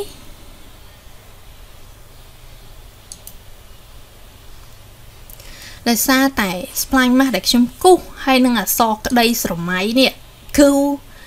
វាអត់នៅក្នុង នៅសិតអញ្ចឹងនិយាយថាអសិតវាអត់នៅចំណុចទីតាំង depth set របស់វាចំណុចទីតាំង set ដូចគ្នា បងប្អូនឥឡូវបើខ្ញុំបិទ spline មកបងប្អូនមើលផាតហ្នឹងគេនិយាយនេះគឺជាផាត spline មកហើយនេះគឺជាផាតក្តីសម័យអញ្ចឹងទីតាំងវាអត់នៅអត់នៅរួមអញ្ចឹងនៅពេលដែលយើងអឺមើលវាចូលគ្នាឃើញវារញ៉េរញ៉ៃនឹងប្លង់ perspective ឯងអូខេអញ្ចឹងយើងត្រូវកែ អា spline mask របស់យើងនេះយើងមិនកែ path trim នេះណាពីព្រោះ path trim ហ្នឹងគឺវានៅរួមជាមួយនឹងអក្សរ 3D របស់យើងមិញហើយអញ្ចឹងយើងកែសម្រួលទីតាំងវាទៅយើងទៅមើលទីតាំង set របស់អក្សរក្រីសម័យហ្នឹងគឺនៅ179ទីតាំងរបស់វាគឺនៅ100ទីតាំង set គឺនៅ179.083ហើយទីតាំង spline mask គឺនៅចំណុច00អញ្ចឹងវាខុសចឹងយើងចូលទៅក្នុង path trim ហ្នឹងហើយយើង copy ចំណុចទីតាំង set ហ្នឹងទៅ control C ហើយយើងយកវាមក paste វាមកនៅ slide mask ដែលយើងគូសហ្នឹង control V មក apply អូខេអញ្ចឹងវានៅចំណុចទីតាំងរួម set រួមអីអញ្ចឹងនៅពេលដែលយើងបើក spline mask មកអូខេវាអត់មានបញ្ហា error នៅ perspective ទេណាចាអញ្ចឹងយើងបានចាត់ទុកថាយើងប្រើ style បែបហ្នឹងចុះ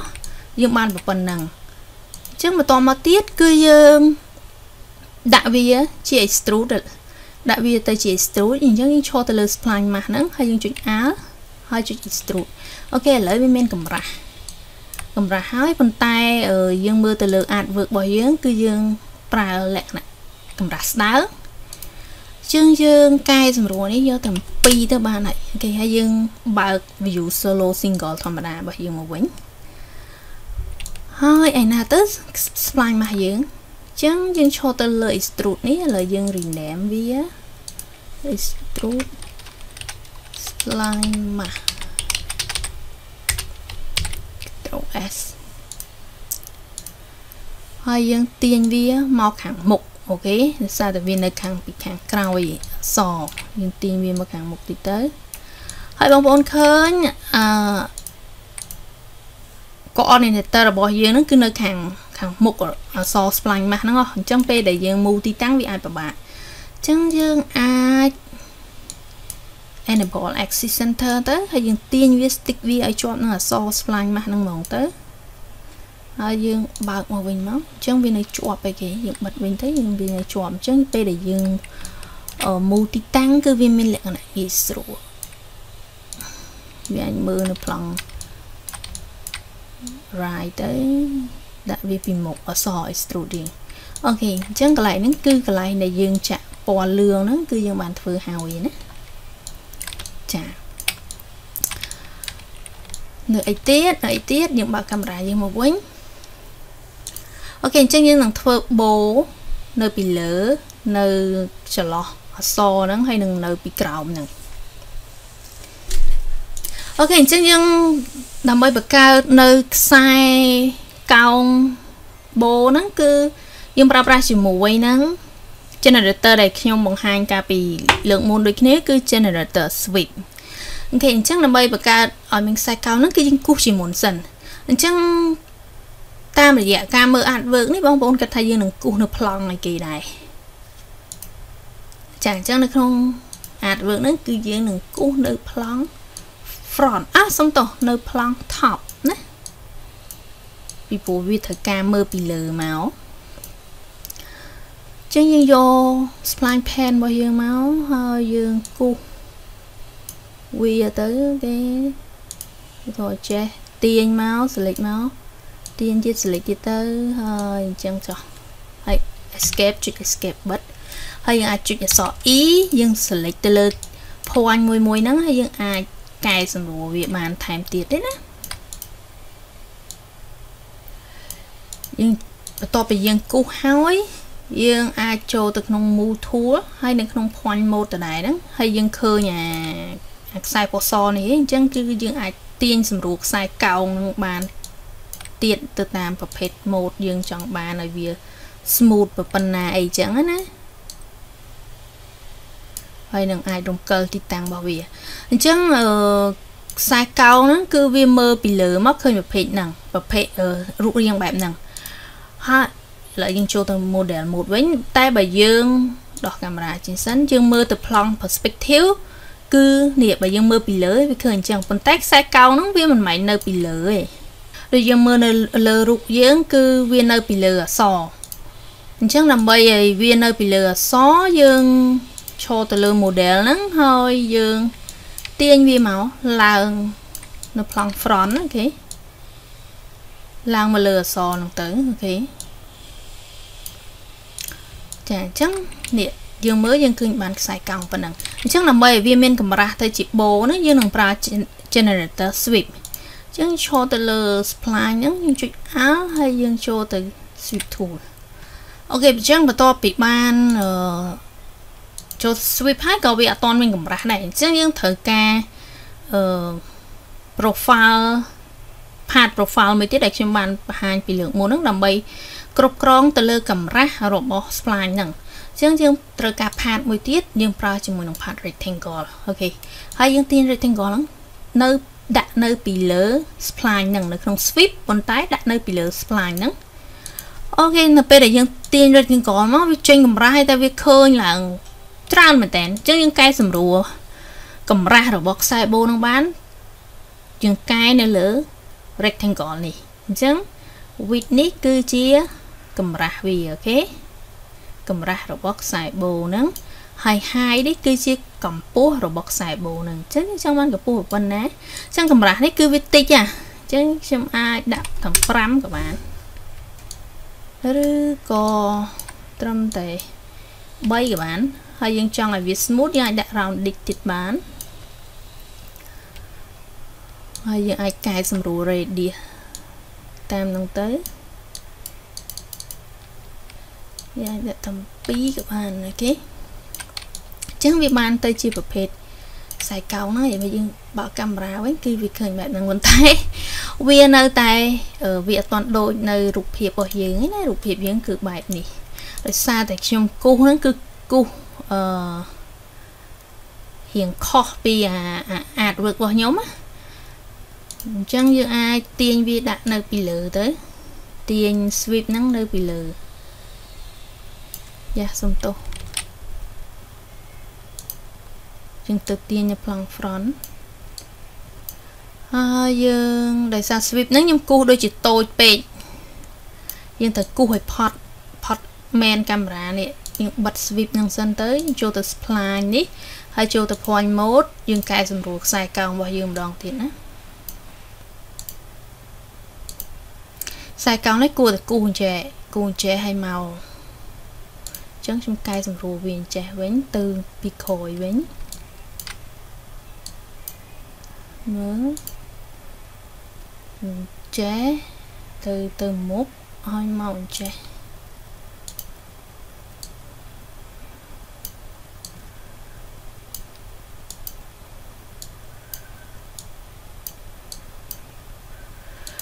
អញ្ចេះខ្សែកោងនេះពេលដែលខ្ញុំធ្វើអាតវើកនេះគឺខ្ញុំគូសទៅតាមអារម្មណ៍របស់ខ្ញុំហ្នឹងណាពេលខ្លះអញ្ចឹងទៅយើងគូសឡើងវិញគឺវាអត់អាចដូច100%ទេពេលដែលបងប្អូនធ្វើក៏បងប្អូនមិនចាំបាច់ថាត្រូវដូចនឹងអាតវើករបស់ខ្ញុំ100%ដែរអូខេហើយបច្ចេកនេះផងដែរគឺខ្ញុំបានឲ្យបច្ចេកដើម្បីបងប្អូនយកទៅធ្វើជា file reference ដើម្បីមើលប៉ុន្តែសុំចិត្តយើងរៀនផងណាយើងកុំយកបច្ចេកយកទៅប្រើប្រាស់តែម្ដង យើងយើងកែសម្រួលចំណុចនឹងតិចតិចទៅហើយយើងសាកលបងបើកអូខេវាស្តៀងប៉ុណ្ណឹងហើយខ្ញុំគិតថាខ្ញុំកែនេះឡើងទៅលើបន្តិច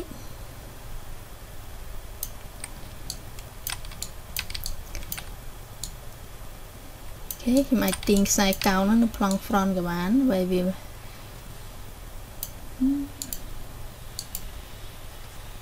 អូខេអត់ទាញទេ control set ឲ្យវាត្រង់ស្មើអញ្ចឹងយើងកែសម្រួលទៅផាតនៅពីលើទៅបានហើយ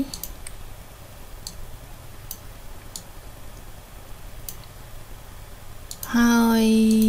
បើយើងចង់ឲ្យវាកម្រាស់វាធំយើងកែទៅលើ rectangle កន្លែង width ហ្នឹងយ៉ាសុំទោសមិន width ហើយកន្លែង high អូខេទាញវារៀងធំតិចទៅ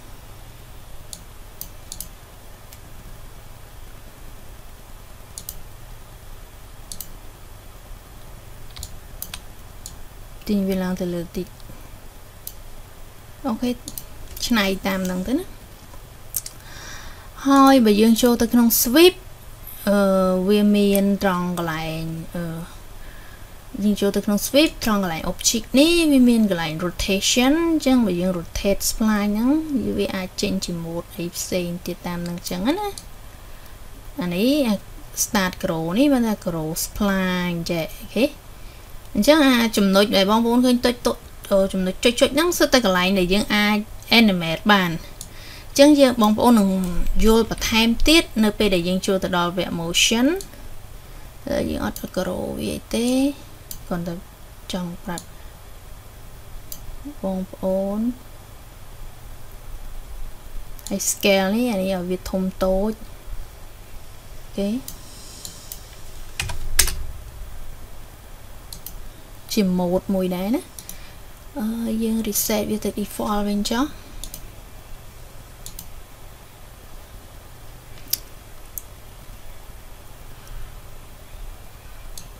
ឃើញទេ scale ធំតូចយើងអាច scale នៅកន្លែង detail ខ្សែកោងនេះក៏បានអានេះនៅខាងចុងគេ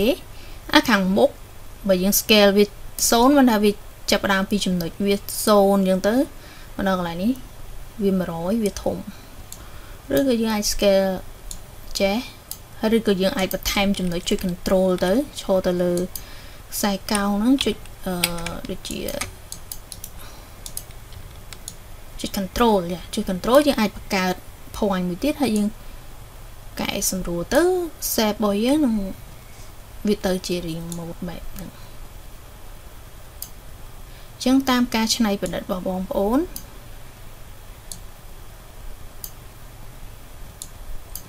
ហេហើយខ្ញុំចូលទៅ rectangle នេះខ្ញុំទៅឡើងវារៀងធំជាងហ្នឹងអូខេនឹងគឺជាការបង្កើតធ្វើខ្សែកោងលក្ខណៈ ribbon ហ្នឹង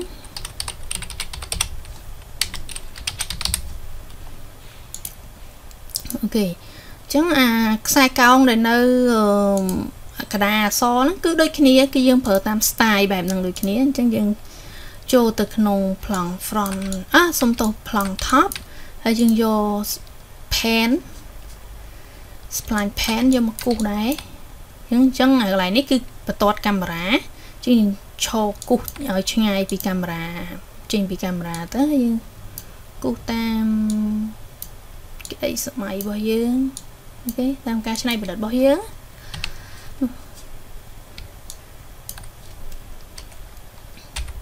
ចុចលេខ9យើងអាចឬក៏អក្សរ E move tool យើងឆ្នៃផាតរបស់យើងតាមនឹងទៀតទៅអូខេហេតុសមយើងកំណត់ទីតាំងវាអញ្ចឹងអានេះវានៅទីតាំង pen ហ្នឹងគឺវានៅកដាសនៅកន្លែងនេះចូលទៅ model វិញហើយយើងទាញវានៅរៀងចំកដាទៅហើយយើងអាចអូខេដោះកាមេរ៉ាចេញសិនហើយយើងមើល perspective view នេះគឺជាខ្សែផាតរបស់យើងដែលរត់ តាមនឹងអញ្ចឹងហើយយើងអាចសាកល្បងដាក់វាចូលទៅក្នុង sweep អូខេហើយយកនៅ rectangle ចុះមកកែសម្រួលនៅកម្រាស់ក៏ដូចជាកម្ពស់កម្រាស់ដាក់តែ2មកបានទេ1ព្រោះនេះយើងត្រូវការស្ដើងមែនទែន0.5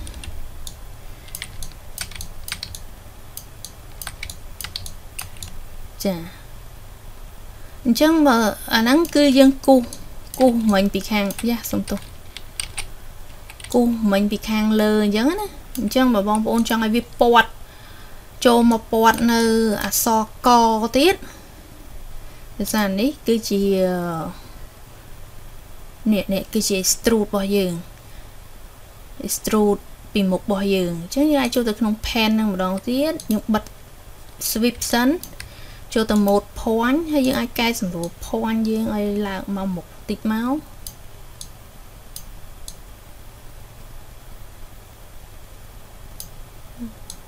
ឬក៏យើងអាចយើងបង្កើត point មួយទៀត right click ហើយយើងយកពាក្យ create point ជាមួយ shortcut MA ហើយយើងដាក់ point នៅចំណុច pad ណាមួយយ៉ាងទៀតទៅអូខេហើយជួយអក្សរ e មកវិញឈរទៅលើ point ហ្នឹងហើយយើងទាញ point ហ្នឹងតាមកែសម្រួលខ្សែ pad ហ្នឹងទៅគេឲ្យមកមុខអក្សរសហ្នឹងទៅឧទាហរណ៍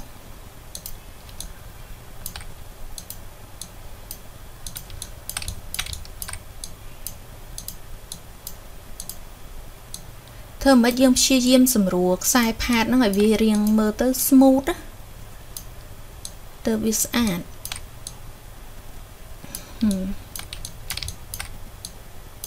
នេះអាកន្លែងអាកន្លែងដែលខ្ញុំដាក់ម៉ៅហ្នឹងអាហ្នឹងគឺជា extrude ក្តីសម័យនៅខាងមុខហ្នឹងអញ្ចឹងខ្ញុំចង់ឲ្យវានៅពីមុខអក្សរកហ្នឹងខ្ញុំមិនត្រូវទាញខ្សែហ្នឹងមកពីមុខហ្នឹង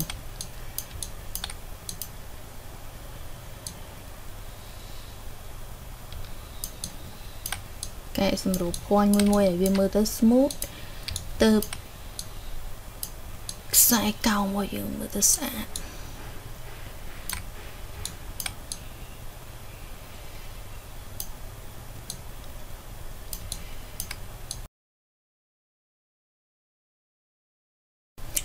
ជាងខ្សែកោងយើងបើយើងមើលទៅ គឺវានេះវាប្រភេទបែបនេះវាចេញមកពីក្រោយ វាចូលតាមប្រឡោះអសកហើយវាពាត់ទៅលើជើងរោអសសហ្នឹងអូខេចឹងមកកន្លែងហ្នឹងយើងចង់ឲ្យវាថយក្រោយយើងអាចមើលប្លង់ perspective ក៏បានចុចទៅលើ point ហ្នឹងហើយយើងទាញសិតវាមកថយក្រោយវិញមកអូខេចឹងឥឡូវយើងបើក sweep បើក sweep វិញអូខេខ្សែកោងរបស់យើងគឺមានរូបរាងបែបនេះចឹងយើងអាចកែសម្រួលនៅប្លង់ perspective នេះហ្មងក៏បានដើម្បីមើលនឹងភ្នែក ដឹងថាយើងចង់បានប្រភេទណាអញ្ចឹងណាតាមការច្នៃរបស់យើង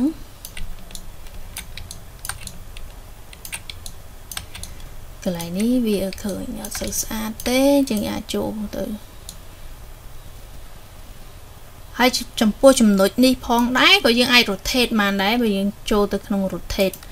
rotate ចំណុចហ្នឹងអញ្ចឹងខ្សែកោងរបស់យើងវានឹងផ្លាស់ប្ដូរទៅតាមនឹងដែរអញ្ចឹងណាចឹងកន្លែងហ្នឹងវាត្រូវឲ្យយើងចំណាយពេលបន្តិចដើម្បីឲ្យយើងទទួលបាននៅខ្សែកោងដែលយើងពេញចិត្តចឹងណាអូខេកន្លែងនេះវាឃើញវាបាក់ឯងវាអត់ smooth ចឹងទាញវាបន្តិចទៅយើងបើកកាមេរ៉ាមកវិញ ដើម្បីយើងមើលថាតើវាមិនដែរ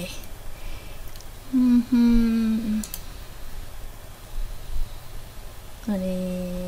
យើងអត់ចាំបាច់ធ្វើដូចដូចអានេះ100%ទេដោយសារតែ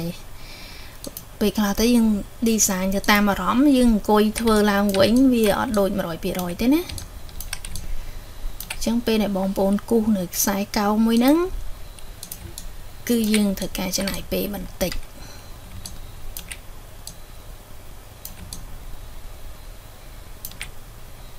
គេនៅចំណុចនេះចំណុចនេះខ្ញុំអាចទាញវាឲ្យ smooth វាចេះតិចទៅ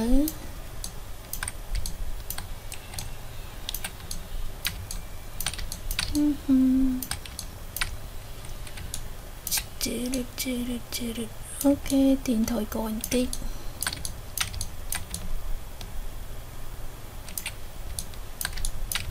ចំណុចនេះ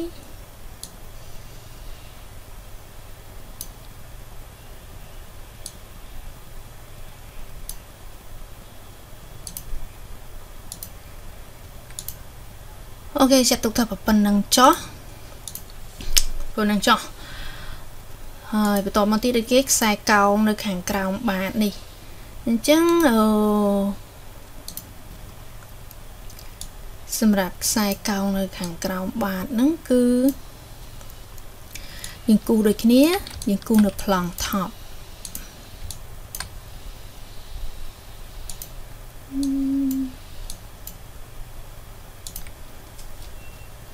ចុច escape ដើម្បីដោះចុច e មក move tool ហើយយើងស្រីវាតិចទៅ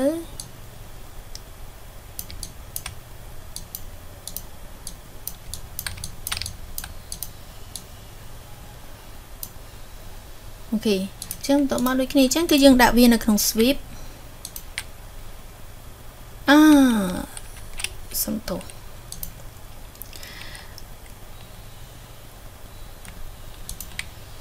អា នេះបើយើងដាក់វានៅក្នុង extrude ក៏បានដែរណាអាខ្សែកោងនៅខាងក្រោមនេះដោយសារតែយើង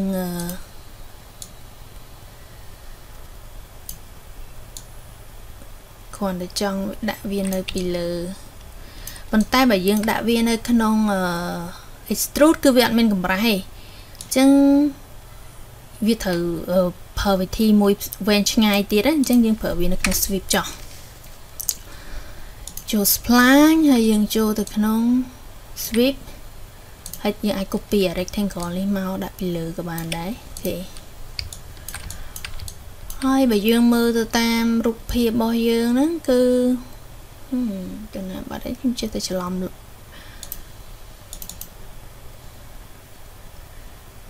គឺវាមានកម្រាស់តិចតួចដូចគ្នាយើងអាចដាក់មួយចុះហើយកម្ពស់វាគឺ ខ្លីមែនតើអូខេ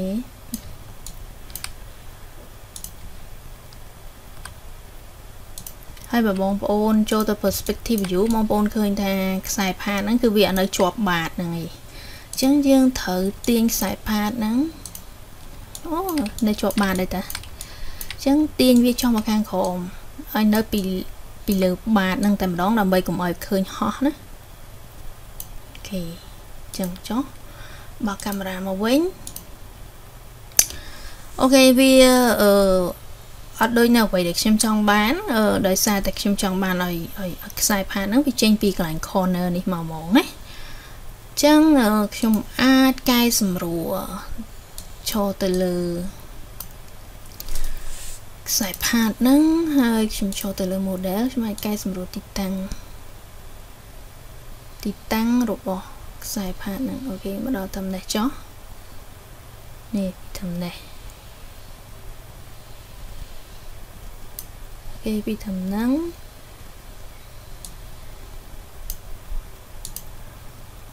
ហើយយើងអាចបិទ sweep សិនយើងចូលទៅ point ហើយយើងកែសម្រួលវាចំណុច2ហ្នឹងយើង select ចំណុចនេះហើយនឹងចំណុចនេះហើយយើងទាញវាចូលមកខាងក្រោមបន្តិចហើយ វា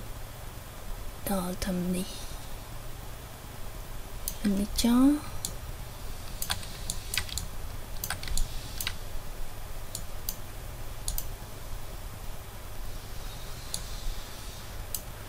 បើកមកវិញ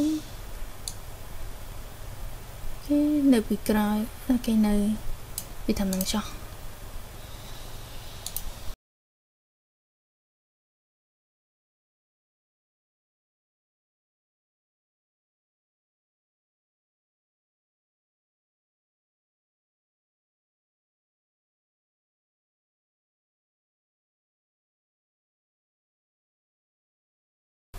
OK ប៉ុណ្ណឹងចុះណា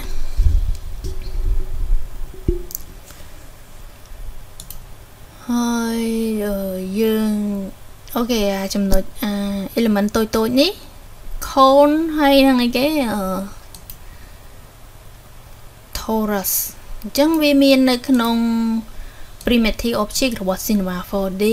OK អញ្ចឹងយើងប្រើនេះ cone អូខេហើយយើង scale វាតូចទៅ អាចបិទកាមេរ៉ាក្បាត់សិនបិទកាមេរ៉ាសិនដាក់វានៅពីលើបាត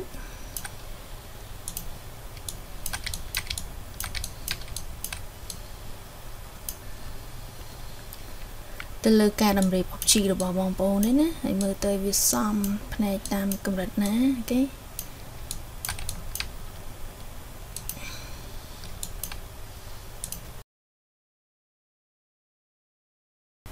អីគេទៀតឬគេនេះខ្ញុំប្រើ element របស់វាហ្នឹង torus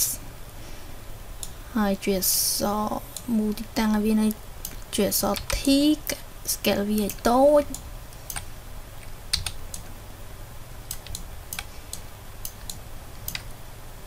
ដាក់វាមកខាងនេះវិញហើយយើងអាចចូលទៅ torus ហ្នឹងយើងកែ ring radius របស់វា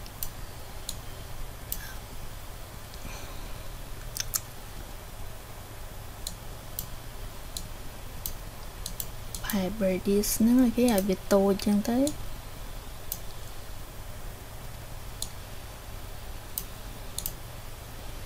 នេះទៀតអូខេអាតុងជាតិនេះគឺងាយងាយនៅក្នុង primitive object ចឹងមិនថាខ្ញុំប្រាប់បងប្អូនព្រៀនបងប្អូនពី primitive object ហើយនឹង extrude sweep ហ្នឹង Marine Mon ខ្ញុំមិនធ្វើនៅលើឆាអញ្ចឹងបងប្អូនអាចយកមកឆ្នៃច្រើនមែនតែនមកធ្វើ artwork ណា ហើយបើបងប្អូនរៀនហើយបងប្អូនទុកអត់យកវាមកឆ្នៃទេ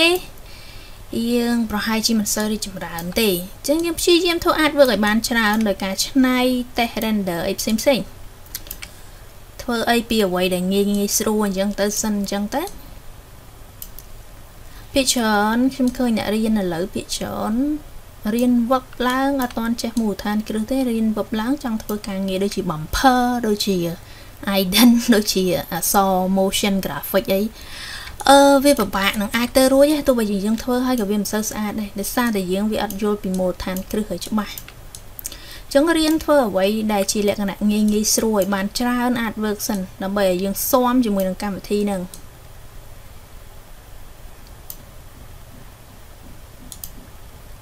វាខ្ញុំ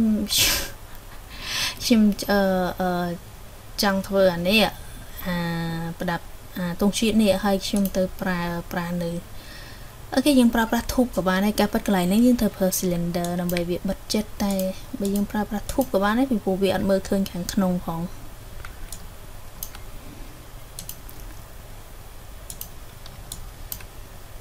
ដោះកាមេរ៉ាចេញសិន scale ធំតិច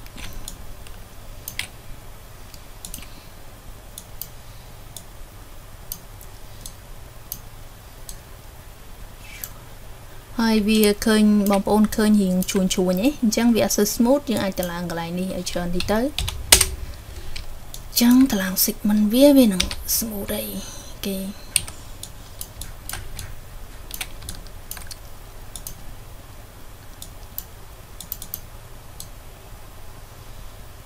អូខេហើយអាដងទងជាតិនេះយើងអាចប្រើប្រាស់ជាមួយនឹងអឺ កម្មវិធី Cinema នេះដូចចង់មានបញ្ហាគៀងគៀងប្រើជាមួយ cylinder បណ្ណានៃ cylinder ចឹង scale វាមក T cylinder scale វាតូច E មកវិញដាក់វានៅត្រង់កន្លែងធូបមើលគ្រប់ប្លង់ គ្រប់ប្លង់ណាដើម្បីឲ្យវាត្រឹមត្រូវអញ្ចឹងកន្លែងនេះគឺជាធូបរបស់យើងនេះហើយនេះគឺជាដងហើយយើងទាញវាចំប្រឡោះកដាហ្នឹងទៅហើយយើងអាចណាល់វាចូលគ្នា RG ហើយកន្លែងនេះយើងដាក់ថា flag អូខេចឹងចូលកន្លែង cylinder នេះយើងកែ high វាឲ្យខ្ពស់អូខេ ហើយបន្ថយ radius វាឲ្យទូចតិចទៅអូខេពូជាងហ្នឹងយើងអាចទាញវាឡើងចឹងតោះគេ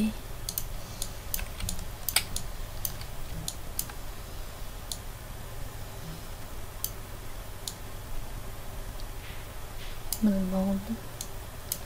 អូខេយើងបានដងទងជាតិហ្នឹងហើយហើយ ទងជាតិហ្នឹងយើងគូសអឺងាយងាយជាមួយ pen tool ជើងគង់មកទាញមកត្រង់មកចេះចេះចេះហើយបិទវិញហើយចូលទៅ E ដើម្បីកែភ័ញមួយមួយឲ្យវាស្មើគ្នាអូខេអញ្ចឹងអឺ ចូលទៅក្នុង spline ដែលយើងគូសហ្នឹងយើងមើលទីតាំង y ណាទីតាំង y នេះយើង copy មក Ctrl Z ចូលមក point នេះ Ctrl V មកឡើងនេះវិញ apply អូខេវាត្រង់ហើយអានេះដូចគ្នាយើងមើលទីតាំង Z អញ្ចឹងចូលទៅលើ point នេះ copy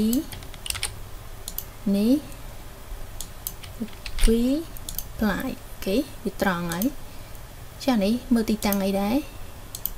មើលទីតាំង y អញ្ចឹងចំណុចនេះទីតាំង y របស់ចំណុចនេះ control C ទីតាំង y នៃចំណុចនេះ control V apply អូខេវាអញ្ចឹងវាត្រង់ស្មើហើយ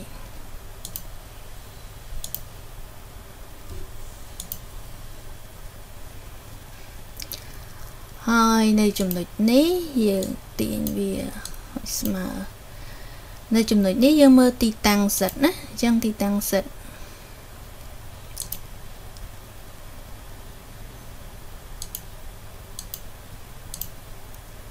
ខេចឹងបន្ទាប់មកយើងដាក់វាចូលទៅក្នុង extrude អើហើយចូល extrude ហើយបាត់ទៅណាបាត់ហើយអញ្ចឹងដោយសារតែ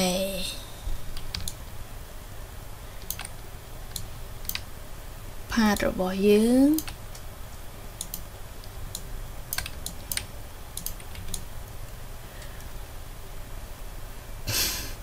គេយើងគូនៅប្លង់តែប៉ះទៅខ្ញុំគូប្លង់ខុសខ្ញុំគូនៅប្លង់ខុសកាប៉ះទៅអាអាសេបដែលយើងគូនេះ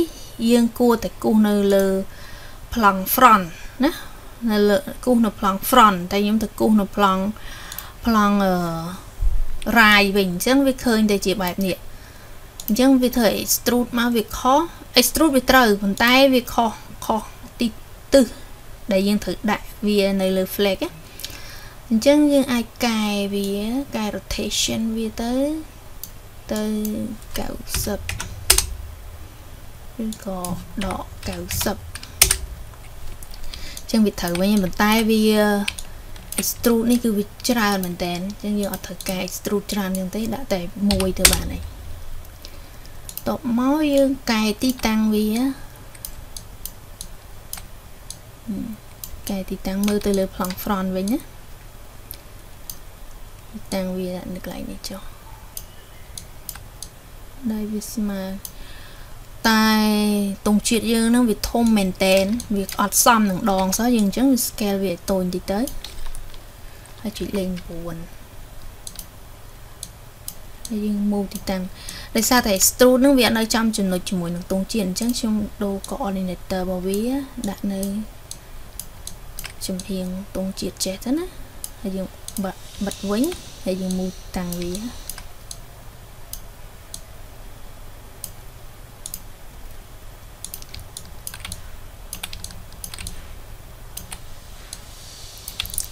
អូខេអញ្ចឹងចុះហើយយើងអាចទាញ extrude នេះចូលមកក្នុងកន្លែង flag យើងហើយយើងទាញ null ទាំងអស់ហ្នឹងដាក់នៅកន្លែងនេះដាក់នៅពីមុខអាសំទោសដាក់នៅពីមុខចឹងបើចង់ឲ្យតុងជាតិនេះវាវល់មកខាងស្ដាំវិញយើងអាចកែ កន្លែង pen នេះមក90វិញមកអឺយើងកែអញ្ចឹងវានេះអញ្ចឹងយើងកែ extrude វិញដោយសារ extrude យើងអាន donal ហើយកែ extrude មក180អូខេ rotate ណាទូចពេកហ៎មកទូចពេកយើងអាច scale extrude នឹងតិចទៅអូខេហើយលេខ9ឬក៏ e មកទាញវាមកវិញ លើយើងឆ្នៃបន្តិចបន្តួចបន្តិចបន្តួចណាលេងជាមួយនឹង rotation ជាមួយនឹង scale បន្តិចបន្តួចទៅ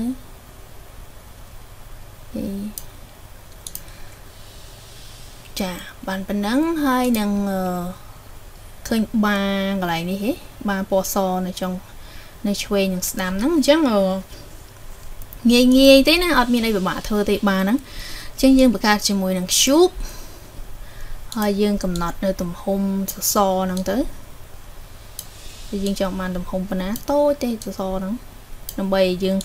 ដាក់គៀន tick ហ្នឹងទៅដើម្បីឲ្យវាធ្វើឲ្យ tick ហ្នឹងវាមើលទៅដូចធំសម្បើមណាស់ដែលយើងដាក់ object តូចតូចនៅចិត្តវាទៅអញ្ចឹងវាលើក tick ហ្នឹងឲ្យទៅដូចដូចធំសម្បើមណាស់អញ្ចឹង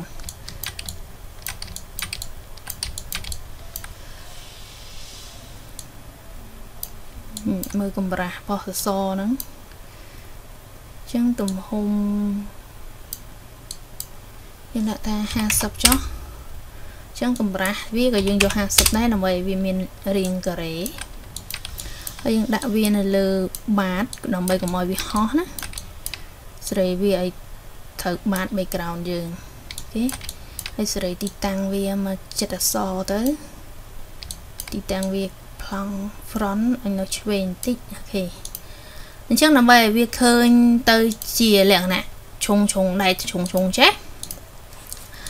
គឺយើងប្រើនៅ tool មួយទៀត robot អឺ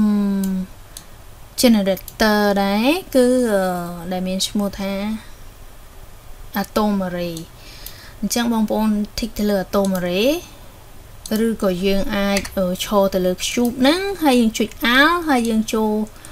ទៅ atom array អូខេអញ្ចឹង atom array គឺជាសម្រាប់ធ្វើរបៀបអញ្ចឹងអញ្ចឹងណាប៉ុន្តែនៅពេលដែលយើងចូលទៅយើងបងប្អូនឃើញហើយវាវាចេញជាដែក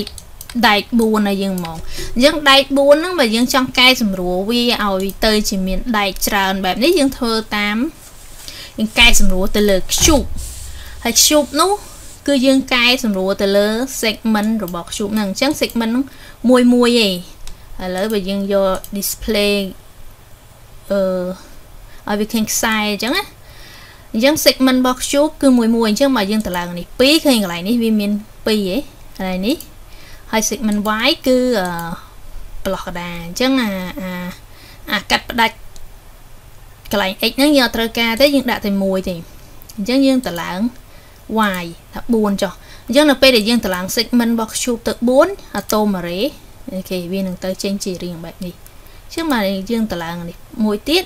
វាឃើញបែបហ្នឹងហើយបើតម្លើង set អូខេវាចេញជា depth depth ចេះណាអញ្ចឹងលើការឆ្នៃរបស់បងប្អូនស្រឡាញ់ប្រភេទណាស្រឡាញ់ប្រភេទណាយើងឆ្នៃតាមប្រភេទហ្នឹងទៅអញ្ចឹងអានេះខ្ញុំដាក់មួយមួយទេឬក៏ y នេះ2ចុះអូខេ ហើយនេះ4ហើយសម្រាប់ atom array ហ្នឹងអឺយើងអាចកែសម្រួលទៅលើខ្សែអឺ bar របស់វាណា cylinder របស់វានេះទំហំបើយើងបន្ថយទៅអូខេទំហំដែកហ្នឹងគឺវាទូចហើយអាទំហំស្ពាតូចតូចហ្នឹងក៏យើងអាចកែសម្រួលបានដែរបើយើងអត់ចង់ឲ្យវាឃើញយើងកែសម្រួលវាតូចទៅគេ ហើយ subdivision នេះបើយើងដាក់កាន់តែច្រើនវាឃើញបាដែកហ្នឹងវាកាន់តែ smooth ចឹងណាគេប៉ុណ្ណឹងចោះហើយសម្រាប់មួយចំហៀងទៀតគឺយើងដូចគ្នាអញ្ចឹងគឺយើងអាច copy copy យកមកដាក់ខាងស្ដាំដៃទៅ control ហើយយើងទាញមកអូខេ ហើយយើងគ្រាន់តែកែចូលទៅកែសម្រួល cube ផងខាងនេះទៅកែសម្រួលឲ្យវាខ្ពស់ជាងអឺវាខ្ពស់ជាងមុន y អូខេខ្ពស់ជាងមុនបន្តិចទៅបានអី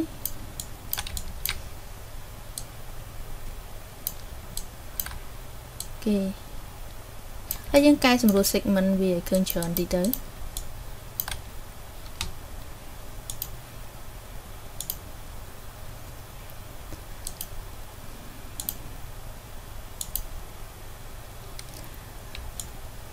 ហើយយើងដាក់វាមកពីមុខខ្សែកោងណាឬក៏ដាក់តឹមអសក៏បានហើយយើងទៅកែសម្រួលខ្សែកោងវិញព្រោះកន្លែងនេះវាប៉ះជាមួយនឹងបាយើងអញ្ចឹងអាខ្សែកោង ribbon pad ហ្នឹងអឺខ្សែកោងប្លោះកដាកន្លែងមួយណាមួយនេះពេច rename ឈ្មោះ bon middle នេះ ribbon foreground ចុះចេះអាចកែសម្រួលខ្សែកោងនេះហ្នឹងកុំឲ្យវាបើបងប្អូនច្រឡំ rotate អញ្ចឹងអញ្ចឹងចង់ឲ្យវាមកត្រង់វិញយើងអាចចុច rotate ដែលអស alt ហើយនឹង left click ឬក៏លេខ3នឹង left click ហើយយើងចុច shift អញ្ចឹងនៅពេលចុច shift វា rotate មក លឿនវាម្ដងប្រហែល degree អាកន្លែងចំណុចខ្មៅខ្មៅដែលបងប្អូនឃើញនេះគឺអាអាតូម៉ារីមួយនេះអូខេអញ្ចឹងដោយសារតែខ្សែកោងរបស់យើង គឺវានៅពីលើអាហ្នឹងអញ្ចឹងយើងអាចកែសម្រួលខ្សែកោងយើងកន្លែងហ្នឹងបន្តិចបិទបើយើងបិទទៅនេះឃើញខ្សែកោងយើងចូលទៅក្នុងហ្នឹងឯងអញ្ចឹងយើងអាច ដាក់ខ្សែកោងយើងទាញខ្សែកោងយើងហ្នឹងនៅពីក្រោយបាននឹងបានយើងអាចកែសម្រួលបាននេះក៏បានឬក៏យើងអាចកែសម្រួលនៅអឺ pad របស់យើងនេះក៏បានអញ្ចឹងលើបងប្អូនចង់កែសម្រួលមួយណាឥឡូវដើម្បីកុំឲ្យស្មុគស្មាញច្រើនយើងកែសម្រួលបារបស់យើងតែម្ដងទៅពីព្រោះនៅពេលដែលយើងកែសម្រួលខ្សែកោងវាត្រូវចំណាយពេលយូរជាង កែសម្រួលនៅ position របស់ bar មួយហ្នឹងគេចាត់ទុកថាយកប៉ុណ្ណឹងអញ្ចឹងចុះអូខេមេរៀននេះដូចជាចង់យើងធ្វើ element ចង់អស់ហើយនឹងមានអីទៀតទេអូខេមានចដានេះចដាហ្នឹងគឺដូចគ្នាយើងប្រើជាមួយនឹង atom array ដូចគ្នាយើងប្រើជាមួយ cube ទៅកែវាទូច scale វាយើងយកទៅ point mode យើងអាចកែសម្រួលទីតាំងទំហំរបប shoot បានជាមួយនឹងចំណុចពណ៌លឿងលឿងណា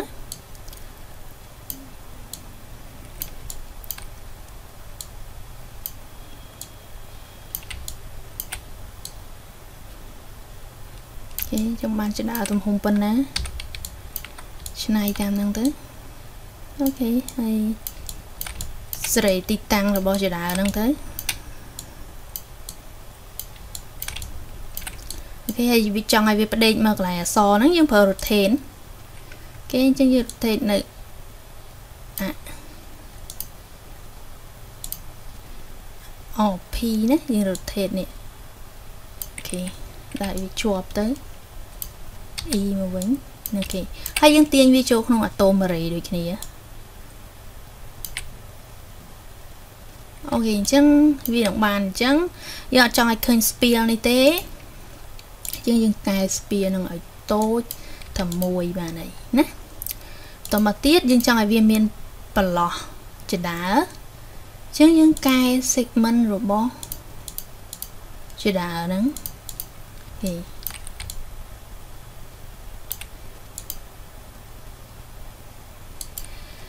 ប៉ុន្តែអានេះវាឃើញ2សងខាងចេះបើយើងចង់ឲ្យវារៀងចិត្តយើងស្រី depth វា ឬក៏យើងដាក់ depth វាតិចតូចមែនតែនដាក់0វានឹងអត់ឃើញប្រឡោះប្រឡោះ2នឹងទេណា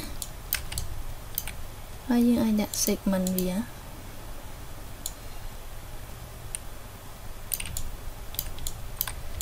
ហើយបើបងប្អូនចង់បានចំណាឃើញ2យើងតឡើង depth វាទៅ depth វាប៉ុណ្ណាវាឃើញប៉ុណ្ណឹងខ្ញុំដាក់ size set វា0ចា ហើយបន្តមកទៀតយើង copy ចំណានឹងមួយទៀត control ទាញតែវាពិបាកក្នុងការរំកិលទីតាំងមែនទេដោយសារតែអឺ object របស់យើងគឺមាន rotate អញ្ចឹងដើម្បីឲ្យយើងងាយស្រួលរំកិលទីតាំង object មួយហ្នឹងទៅតាម coordinator ត្រឹមត្រូវរបស់ workspace cinema 4D យើងអាច enable world coordination នេះជាមួយនឹង ចុចនៅ icon មួយនេះឬក៏ជាមួយ shortcut W អូខេអញ្ចឹង coordinator វាមកធម្មតាអីវាងាយស្រួលយើងក្នុងការយ៉ាសំទោ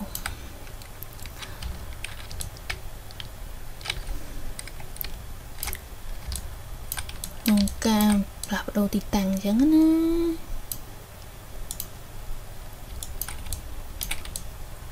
ជាដើររបស់យើង គេអូមិនតិច copy cube ដល់ទៅ2អញ្ចឹង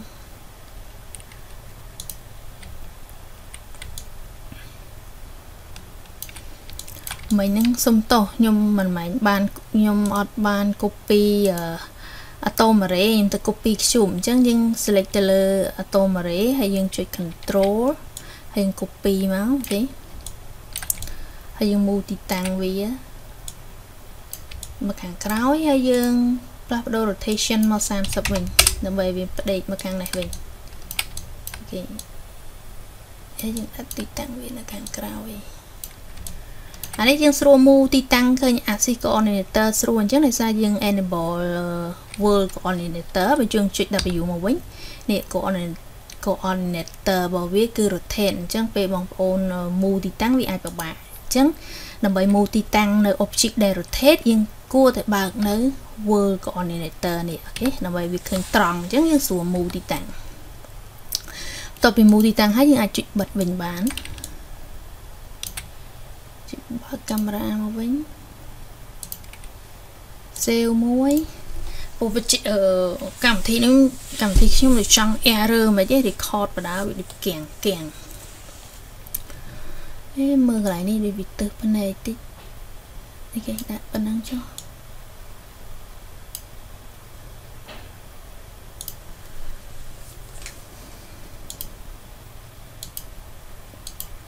មួយចំណារបស់ខ្ញុំឡើយនេះខ្ញុំដាក់នៅកន្លែងសសនេះអញ្ចឹងយើងអាចនេះហ៎ OK អញ្ចឹងដែរហើយយើងតឡើង cube y ឲ្យខ្ពស់តិចទៅ OK ហើយយើង increase segment ចាប៉ុណ្ណឹងចុះមានអីទៀត OK ឃើញនៅកន្លែងនេះអញ្ចឹងកន្លែងនេះគឺសាមញ្ញឯងគឺខ្ញុំឆ្នៃវាអញ្ចឹងណាអឺគឺឆ្នៃងាយងាយជាមួយនឹង cube ហ្នឹងឯងបងប្អូនអាចបន្ថែមទៀតក៏បាន គឺយើង និយាយទៅគឺយើង play around ជាមួយនឹង object នៅក្នុង Cinema 4D ហ្នឹង primitive object ហ្នឹងយកវាមកបន្ទប់បន្ទាប់ផ្សំដើម្បីឲ្យ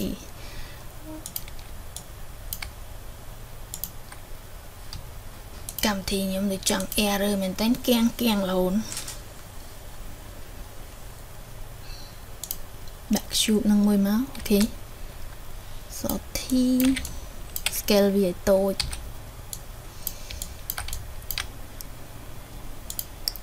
មើល plan front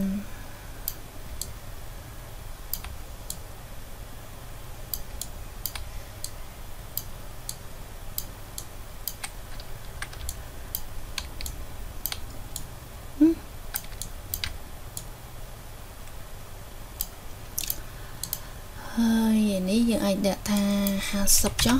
50អាយ៉ា50មិនទៅចេញ5000 50 ហើយសិតនេះក៏50ដែរដើម្បីអី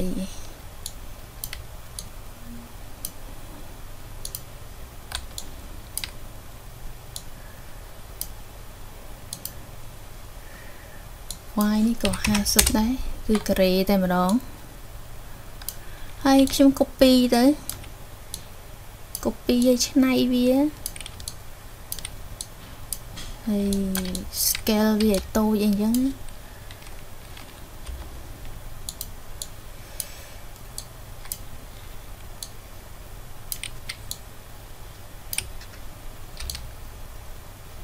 វាធំ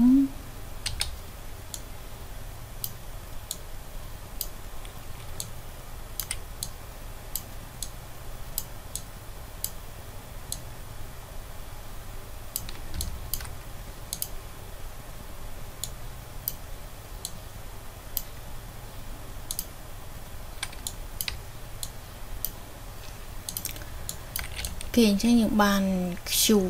ងបាន cube ប៉ុណ្ណឹងយើងអាចដាក់វាចូលណាល់មួយទៅ alg អត់ស្រីទាំងអស់ហើយ alg គេហើយបន្ទាប់មកយើងអាចអូនេះវាដូចខុសនេះបន្តិចយើងអាច rotate វាចាសុំទោសអាច rotate ណាល់ហ្នឹងគេ90អីបន្ទាប់មកយើងបដូរទីតាំងវាទៅដាក់នៅកន្លែងប្រឡោះអក្សរនេះ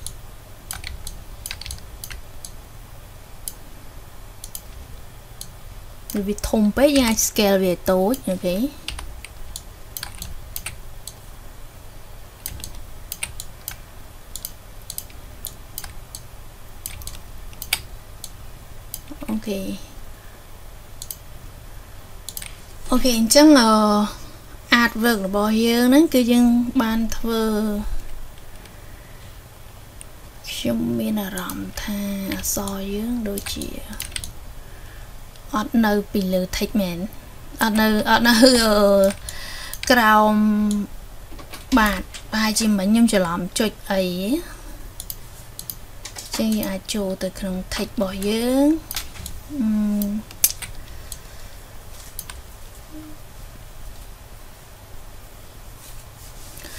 យើងអាចមាន2គឺយើងកែសម្រួល text មួយទៀតយើងកែសម្រួលនៅ background ទាញវាខិតមកខាងលើអញ្ចឹងយើងកែសម្រួល text ទាំងពីរហ្នឹងឲ្យដាក់នៅលើបាតហ្នឹងប៉ុន្តែនៅពេលដែលយើងកែសម្រួលវានឹងខុសអា ribbon នេះទៀតហើយអញ្ចឹងយើងត្រូវ select ribbon នឹងមួយដែរហើយយើងទាញយ៉ាសំទោស select ទៅលើ text ទាំងពីរហ្នឹងហើយនឹងអឺ ribbon middle ហ្នឹងដែរហើយយើងទាញវាឲ្យនៅពីលើ foreground របស់យើងណាពីលើ background របស់យើង ដើម្បីកុំឲ្យ render ទៅឃើញដូចហោះហោះអញ្ចឹងណា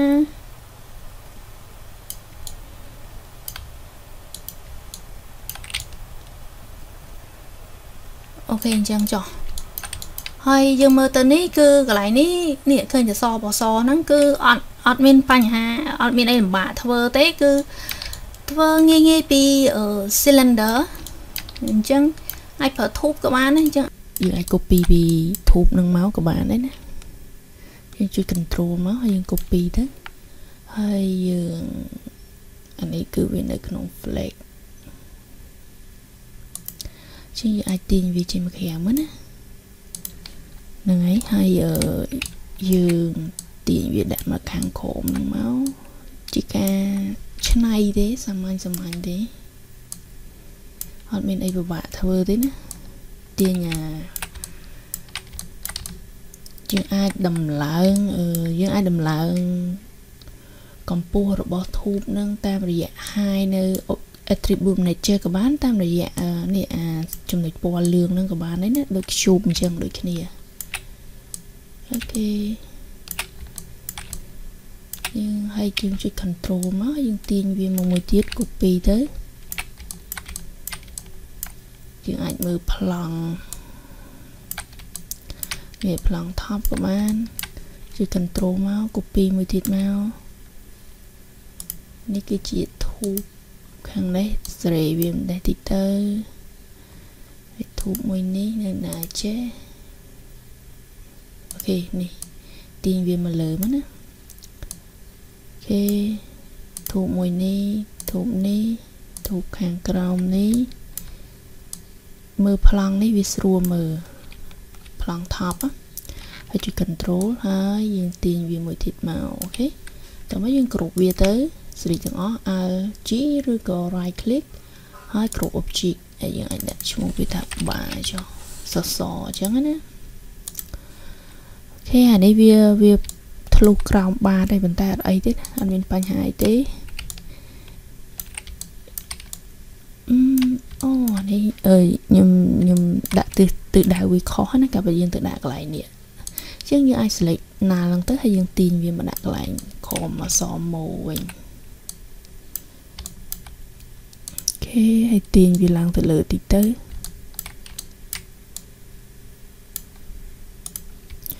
ទាញឡើងលើវាដល់ទេអត់តន់ដល់ទៀតអញ្ចឹងយើងត្រូវ increase យើងត្រូវទៅឡើង high វាអញ្ចឹងយើងអាច select ទាំងអស់ទៅហើយយើងទៅឡើងរួមតែម្ដងអូខេឲ្យវាជាប់ទាញវាមកក្រោយបន្តិចទៅកុំឲ្យប៉ះអក្សរអូខេប៉ណ្ណឹងចុះអូអសនៅនៅនៅនៅទៅពីលើដដែលដោយសារតែមិញមានបញ្ហា error មួយចំនួនអញ្ចឹងឥឡូវខ្ញុំទាញអសនឹងចុះក្រោមមកវិញណា គេដើម្បីឲ្យវានៅជាប់បាតតែម្ដងមិញសេរីម្ដងហើយមិនតែ file VR ឬទៅគេឥឡូវសេរីបានចោះក្រុមអញ្ចឹងមិនបានត្រូវការអានេះវាខ្ពស់ហ្នឹងគេហែកបាហ្នឹងយើងសេរីម្ដងទៀតទៅកុំឲ្យវាខ្ពស់ជាងពេកមិនល្មមណាគេអឺ យកធ្វើម៉ូតអឺ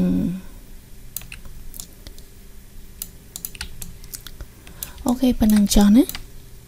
ឡូវយើងបើកកាមេរ៉ាយើងមកវិញអូខេអានេះអាតូមនេះយើងអាចអឺយើងអាចបរួម cube នឹងតិចទេណាសម្រាប់ atom array នេះมันមិនមែនថាបានតែសម្រាប់ តែការប្រើប្រាស់ cube ទេបងប្អូនដាក់ object អីផ្សេងក៏បានដែរដាក់ object អឺ sphere ឬក៏ឧទាហរណ៍ថាឥឡូវខ្ញុំមានអឺខ្ញុំមានដូច platonic ជាលក្ខណៈអញ្ចឹងមួយហើយបើខ្ញុំដាក់វាចូលទៅក្នុងនេះ platonic ខ្ញុំដាក់ចុច alt ហើយខ្ញុំដាក់វាចូលទៅក្នុង atom array ទៀតឃើញទេវានឹងចាប់ segment នៅរបស់ platonic នឹងដូចគ្នាណា ហើយ platonic នេះក៏យើងអាចវាមាន type របស់វាច្រើនទៀតអញ្ចឹងអញ្ចឹងលើបងប្អូនចំណាយពេលចំណាយពេលស្រាវជ្រាវជាមួយនឹងអឺដោយអ្វីដែលខ្ញុំប្រាប់ជាមួយនឹង attribute manage អសំទោជាមួយនឹង primitive geometry នេះហ្នឹងនេះអឺ primitive object ជាមួយ primitive object ដែលមានដូចជា cube មានអីច្រើនហ្នឹង បងប្អូនចំណាយពេលជាមួយវាហើយយើងតេស្តជាមួយវាទាំងអស់គ្នាអញ្ចឹងវាមានលទ្ធភាពក្នុងការធ្វើ object 3D បានច្រើនណាសម្រាប់ការ design របស់យើងយកមកតុបតែង scene របស់យើងណាគេអានេះគ្រាន់តែឧទាហរណ៍ទេខ្ញុំសុំលុបហើយកន្លែង cube នេះខ្ញុំគិតថាខ្ញុំដាក់វាឲ្យទូជាងហ្នឹងដើម្បីបំផុសឲ្យឃើញអក្សរកាន់តែធំណាធម្មតាបើសិនជាយើងដាក់ cube ធំពេកអក្សរយើងហ្នឹងវាមើលទៅនេះដាក់30អក្សរយើងវាមើលទៅដូចអត់សូវឃើញធំទេយើងដាក់ cube ទូចត្មងបានហើយហើយអានាគារនេះដូចគ្នាដែរនេះអូខេចឹងខ្ញុំ scale វារួមតែម្ដងទៅអូខេប៉ុណ្ណឹងចុះយើងបិទកាមេរ៉ាមកវិញ បន្ទាប់ពីយើង scale គឺវាហោះហើយគឺវាអត់នៅជាប់បាតទៀតទេឃើញទេចឹងយើងត្រូវតម្កល់វាចុះមកខាងក្រោមវិញ តាមរយៈប្លង់រាយអូខេដាក់ឲ្យវាចំបានតែម្ដងនេះផុតជោគបានបានបន្តិចក៏អត់អីដែរណា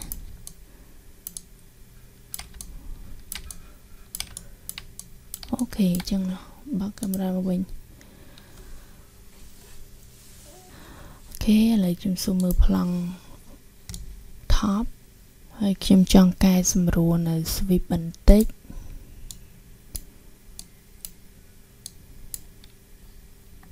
sweep យើងនេះ ribbon part យើង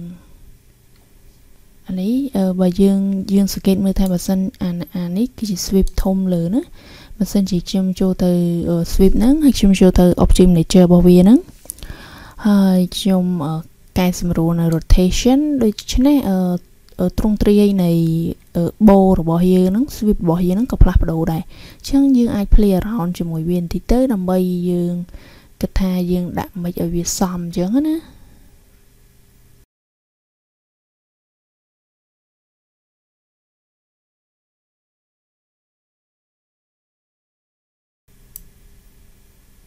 OK ថាសម្រាប់អញ្ចឹងចុះវាអត់អត់ដូច100%នឹងរូបនឹង artwork ចាស់របស់ខ្ញុំទេប៉ុន្តែអឺខ្ញុំចង់បង្ហាញបងប្អូនពីរបៀបធ្វើណាបើសិនជាយើងចង់គូសឲ្យដូច100%គឺពេលខ្លះគឺវាអត់អាចដូចគ្នា100%ទេ OK នេះគឺជា artwork ចាស់របស់ខ្ញុំណាអឺ OK ឥឡូវយើងចប់នៅក្នុងវគ្គដែលយើងធ្វើ modeling ហើយ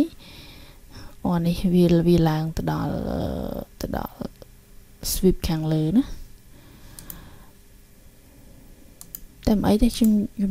ខ្ញុំគិតថាខ្ញុំ design តាម style តូចបែបនេះវិញចុះអឺអញ្ចឹងយើងចាប់ផ្ដើម set up នៅ lighting ហើយក៏ដូចជា material របស់យើងផងដែរ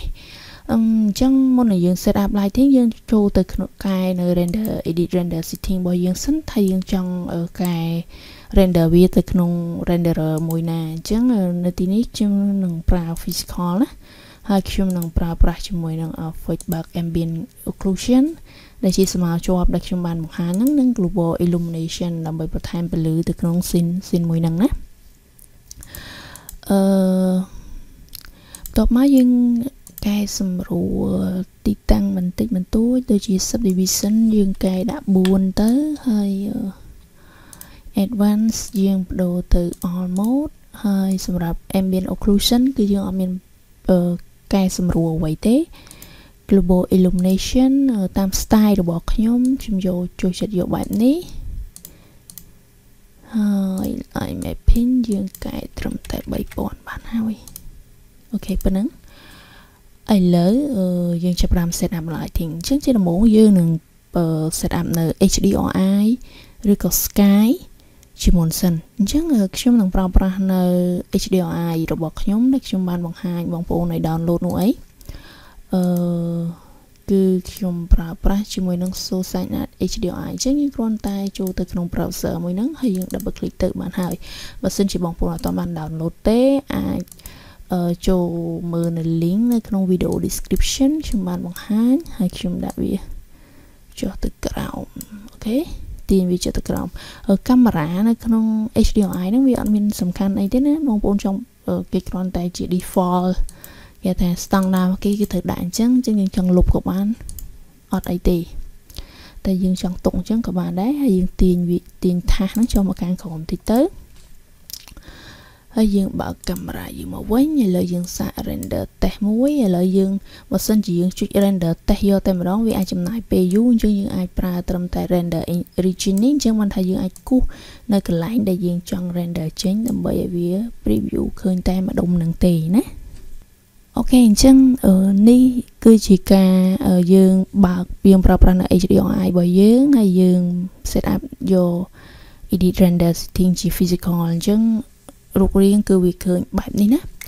ហើយអឺសម្រាប់ HDRI របស់យើងហ្នឹងអឺប្រភេទ HDRI ដែលយើងប្រើហ្នឹងគឺ black and white ណាបងប្អូនអាចសាកល្បងជាមួយ array ក៏បាន តែនៅទីនេះខ្ញុំប្រើជាមួយនឹង black and white studio ណាហើយពីព្រោះងាយយើងមិនចាំបាច់ត្រូវការទៅរក file HDMI ពីខាងក្រៅវា build ing នៅក្នុងនឹងស្រាប់តែម្ដង ឥឡូវយើងចាប់តាមចាក់មេត្រីអញ្ចឹង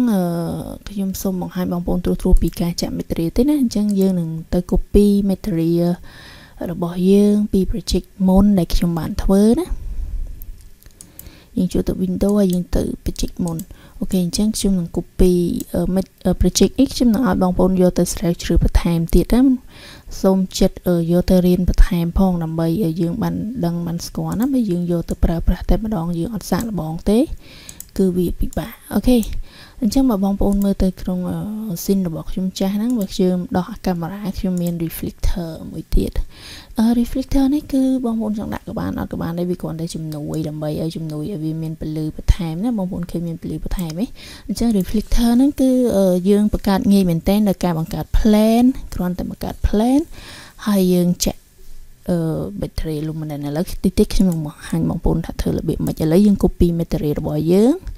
edit ហើយ copy ហើយយើងចូលទៅក្នុង material scene របស់យើងវិញហើយយើងអស់សំទោស copy material គឺយើងទៅ copy បែបនេះយើង select material ទាំងអស់ហើយយើងចូល edit ហើយយើង copy OK ហើយយើងចូលមកក្នុង scene របស់យើងវិញចូលទៅ material manager ហ្នឹងយើង edit ហើយយើង paste វា OK អញ្ចឹង material ហ្នឹងមកហើយឥឡូវយើងអឺបង្កើត reflector មួយទៀតអញ្ចឹង reflector របស់យើងហ្នឹងគឺយើងបង្កើតជាមួយនឹង plan អូខេហើយយើងបដូរ plane ហ្នឹងទៅ axis ដើម្បីវាប្រឈរបែបនេះណាហើយយើងទាញវារៀងខ្ពស់តិចទៅមកល្មមទៅអូខេហើយយើងចង់ឲ្យ reflector របស់យើងជះចូលទៅក្នុងអឺជះបាំង ជះចូលទៅក្នុង scene របស់យើងឬក៏អក្សររបស់យើងអញ្ចឹងណាឲ្យវាទិសដៅរបស់វាអញ្ចឹងយើងអាចដាក់ target ទៅឲ្យវាអញ្ចឹងដើម្បីដាក់ target នេះគឺយើងអាចដាក់បានទាំងអស់មិនថាកាមេរ៉ាមិនថា live ទេឬក៏ object ទេអញ្ចឹងដើម្បីដាក់ target ហ្នឹងគឺយើង right click ហើយយើងយកពាក្យ animation tag ហើយយើងយក target អញ្ចឹងយើង target គឺវាមាន target expression មួយហើយនៅត្រង់បើយើងចុចទៅលើ target អាសញ្ញាគោលដៅនឹងទៅគេនឹងដាក់កន្លែងនេះ target object អញ្ចឹងគេសួរយើងថាយើងចង់បាញ់ទិសដៅនៃ object ពលឺរបស់យើងហ្នឹងទៅកាន់វត្ថុមួយណាអញ្ចឹងយើងនឹងបាញ់ទិសដៅចំកណ្ដាលគឺកន្លែងអក្សរហ្មងអញ្ចឹងអក្សររបស់យើងគឺ trim tick trim tick នេះ OK អញ្ចឹងយើងទាញ យើងចុចទៅលើ target ហ្នឹងហើយយើងទាញ trim tick នេះចូលមកកន្លែង target object OK អញ្ចឹងអឺឥឡូវឧទាហរណ៍ថាបើខ្ញុំចាក់ material ចូលទៅក្នុង reflector ហ្នឹងដើម្បីងាយស្រួលបញ្យល់បងប្អូនអញ្ចឹងមិនថាខ្ញុំ move ទីតាំង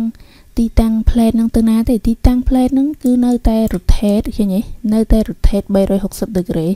ទៅរកទៅរកអាអសរក្តីស្រមៃហ្នឹងជានិច្ចណា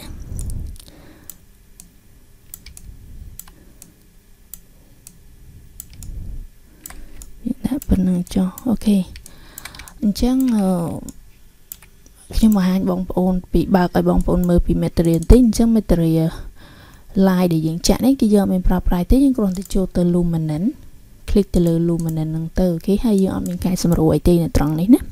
បើចង់ឲ្យភ្លឺខ្លាំងជាងហ្នឹងយើងអាចកែសម្រួល brightness នឹងបានតែខ្ញុំនៅទីនេះខ្ញុំអត់កែសម្រួលអីទេហើយសម្រាប់អឺខ្ញុំសូមចាក់ វិធីចាក់យើងដឹងណាយើងបានបង្ហាញនៅមេរៀនទី1យើងយកចាក់ផ្ទាល់ក៏បានយើងចាក់យកទៅចាក់នៅ object នឹងក៏បានអញ្ចឹងសម្រាប់សម្រាប់អឺខ្សែបូនេះគឺយើងចាក់ material ទាំងអស់នេះគឺស្ទៀងគ្នាទាំងអស់ទេគឺយើងកើតចេញពីការប្រើប្រាស់ពី color ហើយនិង reflectant ហើយ reflectant ហ្នឹងយើងប្រើប្រាស់នៅកម្រិត reflectant តិចអញ្ចឹងមើល material ទៅវាត្រូវមានតែ color ហើយនិង reflectant ទេ ហើយសម្រាប់ layer គឺយើងអត់មានកែទេ default specular គឺយើងកែបន្តិចបន្តួចទៅតាម material ផ្សេងផ្សេងគ្នាណាបងប្អូនអាចយកទៅស្រាវជ្រាវបន្ថែមបានទៀតហើយសម្រាប់ layer color នេះបានន័យថា layer specular អឺ specular color នេះគឺបានន័យថាអឺចំណាំងអាពេលដែលភ្លើងជះទៅដល់ object ហ្នឹងតើយើងចង់ឲ្យវាឃើញចេញជាពណ៌អីគេណាអញ្ចឹងយើង blending វាលាយលាយគ្នា ហើយខ្ញុំធ្លាប់បញ្យល់ច្រើនពី metri ហើយអញ្ចឹងមេរៀននេះខ្ញុំអត់បញ្យល់ច្រើនទេទៀតទេប៉ុន្តែគ្រាន់តែថា metri ដែលខ្ញុំចាក់នេះគឺខ្ញុំប្រើ roughness គឺច្រើនគឺដើម្បីឲ្យវាមានកម្រិតអឺមានភាពក្រើមច្រើនដើម្បីកុំឲ្យវាមានភាពរលោងពេកអញ្ចឹងនៅពេលដែលខ្ញុំចាក់ roughness ច្រើន reflect ដែលវាមានហ្នឹងទោះបីជាខ្ញុំដាក់ reflect ច្រើនក៏ដោយតែ reflect ដែលមានហ្នឹងគឺវាមានលក្ខណៈជា blur blur ណា គឺវាអត់ឃើញ reflect ច្បាស់ទេអត់ឃើញចំណាំងផ្លាតច្បាស់ទេវាមានចំណាំងផ្លាតជាលក្ខណៈព្រាព្រាណាឥឡូវខ្ញុំឧទាហរណ៍ទៅលើ background មួយនេះចុះ BG ឥឡូវបើខ្ញុំចាក់ហើយខ្ញុំបើកកាមេរ៉ាណាអញ្ចឹងបងប្អូនចូលទៅមើលអឺ setting របស់ background ហ្នឹងគឺសម្រាប់ reflectant ខ្ញុំប្រើ roughness ច្រើនមែនតើអញ្ចឹងដើម្បីឲ្យចំណាំងផ្លាត ហ្នឹងគឺវាមានលក្ខណៈព្រាព្រាបងប្អូនឃើញទេបើខ្ញុំដាក់0ឃើញចំណាំងផ្លាតកន្លែងនេះឃើញវាចេញច្បាស់ទេអញ្ចឹងបើខ្ញុំដាក់វារៀងច្រើនតិចមិនខ្ញុំដាក់បាន35ណាផ្លេចបាត់ហើយអញ្ចឹងចំណាំងផ្លាតដែលមានហ្នឹងវានឹងរៀងព្រាព្រាហើយវាមានលក្ខណៈគ្រើមគ្រើមដូចដែកអញ្ចឹងណាប៉ុន្តែយើងដាក់ចំណាំងផ្លាតអាចយើងដាក់ roughness នេះកាន់តែច្រើនអឺពេលខ្លះក៏វា អឺអត់ត្រឹមត្រូវដែរអញ្ចឹងយើងត្រូវលៃមិនមើលទៅមកស្អាតមកសមរម្យណាអញ្ចឹងខ្ញុំចាប់ផ្ដើមចាក់ពណ៌យកតែម្ដង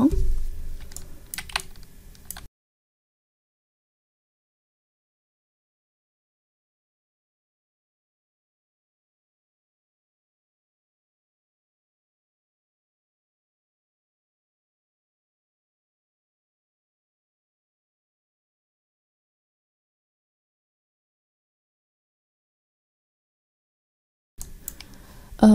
មេត្រាទាំងអស់នេះគឺវាមានការចាក់ស្តៀងស្តៀងគ្នាទេណាគឺវាបដូរតែពណ៌ខុសតែពណ៌ទេសម្រាប់ reflect ហើយនឹងអឺអឺ specular អីគឺវាស្រដៀងស្តៀងគ្នាទេ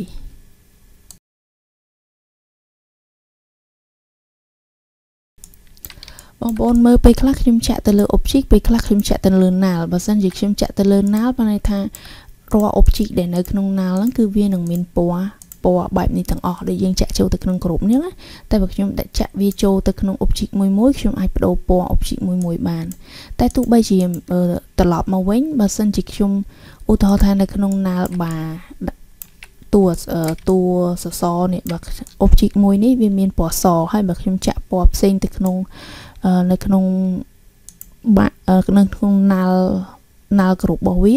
អញ្ចឹងអា object ដែលពណ៌សហ្នឹងវានៅតែអត់ effect អញ្ចឹងអញ្ចឹងបើយើងចង់ឲ្យវា effect ទាំងអស់តើតែយើងលុប object នៅក្នុងនឹងសិនអញ្ចឹង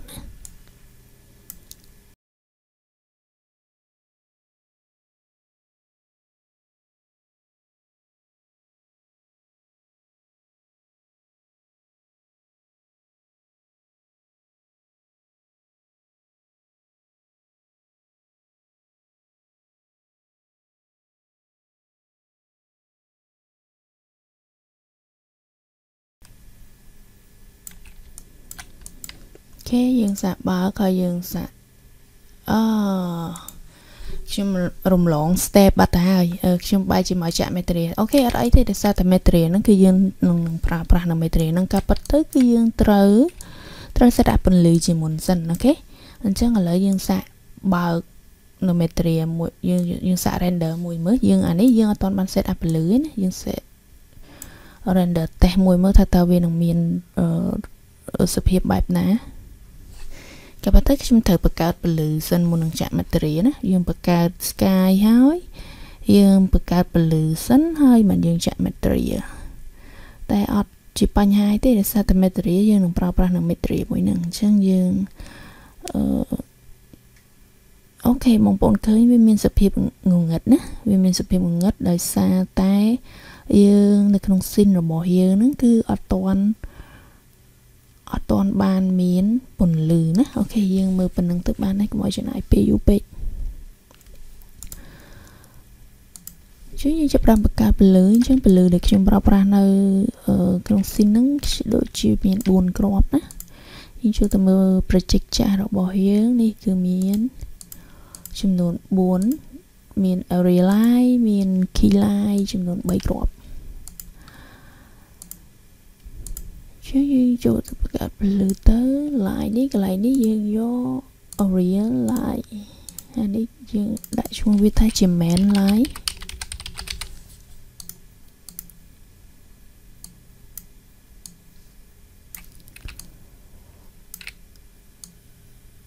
សម្រាប់ការ set up ពន្លឺនេះនេះនៅពេលដែលយើងចាក់ material បងប្អូនឃើញទេកន្លែង reflector នេះកន្លែង reflector plan នេះបើសិនជាខ្ញុំបិទ ឃើញទេឃើញវា reflector ហ្នឹងឃើញវាជះជះពន្លឺចូលហ៎អញ្ចឹងយើងអឺអាច play around អាចតេស្តជាមួយនឹងអាហ្នឹងបន្តិចក៏បាននៅពេលដែលបងប្អូនធ្វើណាឥ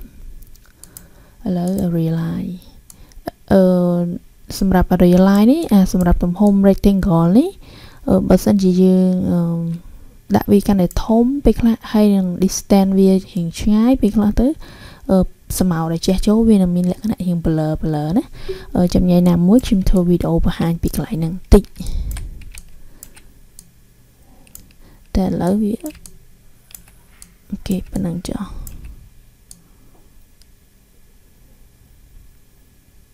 នេះយើងអាចមើលពេលដែលយើង set up ពលីយើងអាចតេស្តមើលណាថាដាក់ចេញដាក់ចុះក្រោមវាអត់ជះពលីចូលអញ្ចឹងយើងដាក់មកល្មមឲ្យឃើញស៊ីនយើងទៅ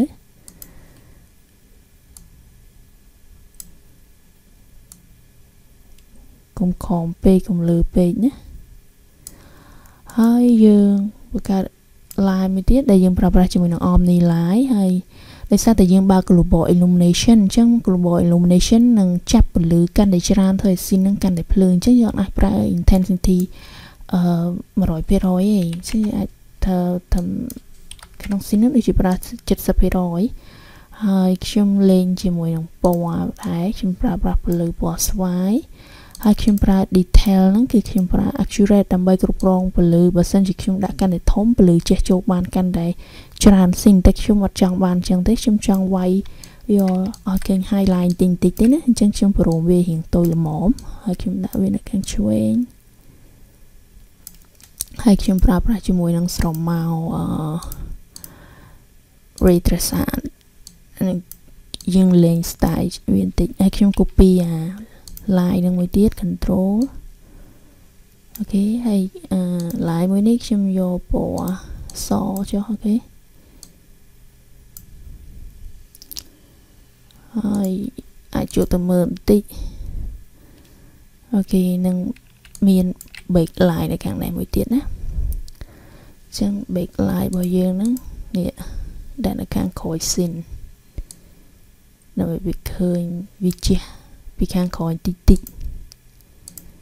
ចឹងយើងអាច copy line នឹងមួយទៀតទៅ control អូខេ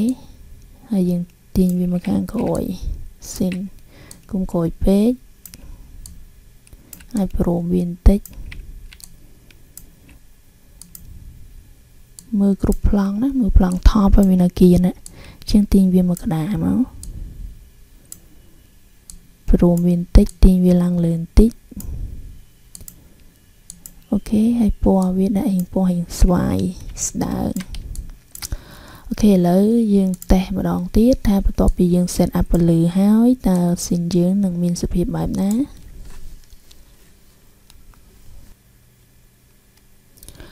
អូខេខ្ញុំគិតថាស៊ីនយើងអាចត្រឹមត្រូវប៉ុន្តែអ្វីដែលខុសហ្នឹងគឺខ្ញុំចាក់ខុសនៅត្រង់អក្សរ text អឺ អក្សរ text ក្តីស្រមៃហ្នឹងណាគឺខ្ញុំចាក់ខុសត្រង់ថា ការពិតទៅអឺកន្លែងអក្សរ text ក្តីស្រមៃនេះគឺខ្ញុំប្រើប្រាស់នៅពីរពណ៌អញ្ចឹងខ្ញុំប្រើប្រាស់នៅ C ពណ៌ចម្បងរបស់វាមិនមែនពណ៌ហ្នឹងឯងគឺពណ៌មួយនេះអញ្ចឹងខ្ញុំចាក់ពណ៌មួយហ្នឹងហើយសម្រាប់ពណ៌ slate នេះពណ៌ដែលរៀង slate នេះគឺខ្ញុំចាក់កែមវាអញ្ចឹងខ្ញុំត្រូវដាក់វានៅលើ selection របស់យើងកែមយើងបង្ហាញនៅមេរៀនដំបូងឯគេគឺ R R1 អូខេចាក់ដើម្បីឲ្យវាចាក់នៅកែមខាងមុខណាអូខេឥឡូវយើងដោះកាមេរ៉ាបន្តិចយើងទៅមើលពីខ្លះអក្សរ text យកចូលមកមានការ error បើចាក់ R1 ដល់ត្រូវយើងត្រូវចាក់ R2 វិញតែឥឡូវយើងមើល R1 ហ្នឹងគឺ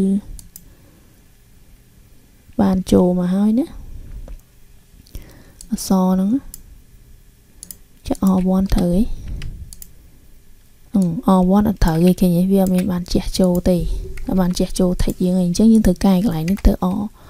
R2 វិញអូខេ R2 បានវាជះចូលមកជះចូលមក text របស់យើងណាចឹងពេលខ្លះការនាំផាតមកវាផ្ទុយយើងដែរអញ្ចឹងយើងត្រូវសាកល្បងណាបើចាក់ R1 អត់ឃើញទេយើងក៏លេខទៅមើលខាងក្រោយបើវាវាលោតទៅខាងក្រោយមានន័យថាអាផ្ទៃខាងមុខយើងយើងត្រូវចាក់ R2 ណា អូខេប៉ុណ្ណឹងចុះឥឡូវយើងចាប់ផ្ដើម render ម្ដងទៀតអូខេអញ្ចឹងមេរៀនយើងគឺចាប់សពគ្រប់ហើយណាអឺអឺខ្ញុំនឹងឲ្យ basic file នឹងទៅបងប្អូនអញ្ចឹងបើសិនជាបងប្អូនចង់កែកុននៅពណ៌ណាមួយដូចដែលយើងនិយាយមេរៀនមុនអញ្ចឹងជាងយើងបើកនៅ object buffer ណាបើសិនជាបងប្អូនពេញចិត្តចំពោះអឺ ការ design នឹងហើយយើងអត់ចាំបាច់បើកនៅ multipath ទៅ compose បន្ថែមទៀតទេណាតែបើយើងមានអារម្មណ៍ថាយើងអត់ទាន់ពេញចិត្តចំពោះ artwork មួយហ្នឹងគឺយើងអាចបើក multipath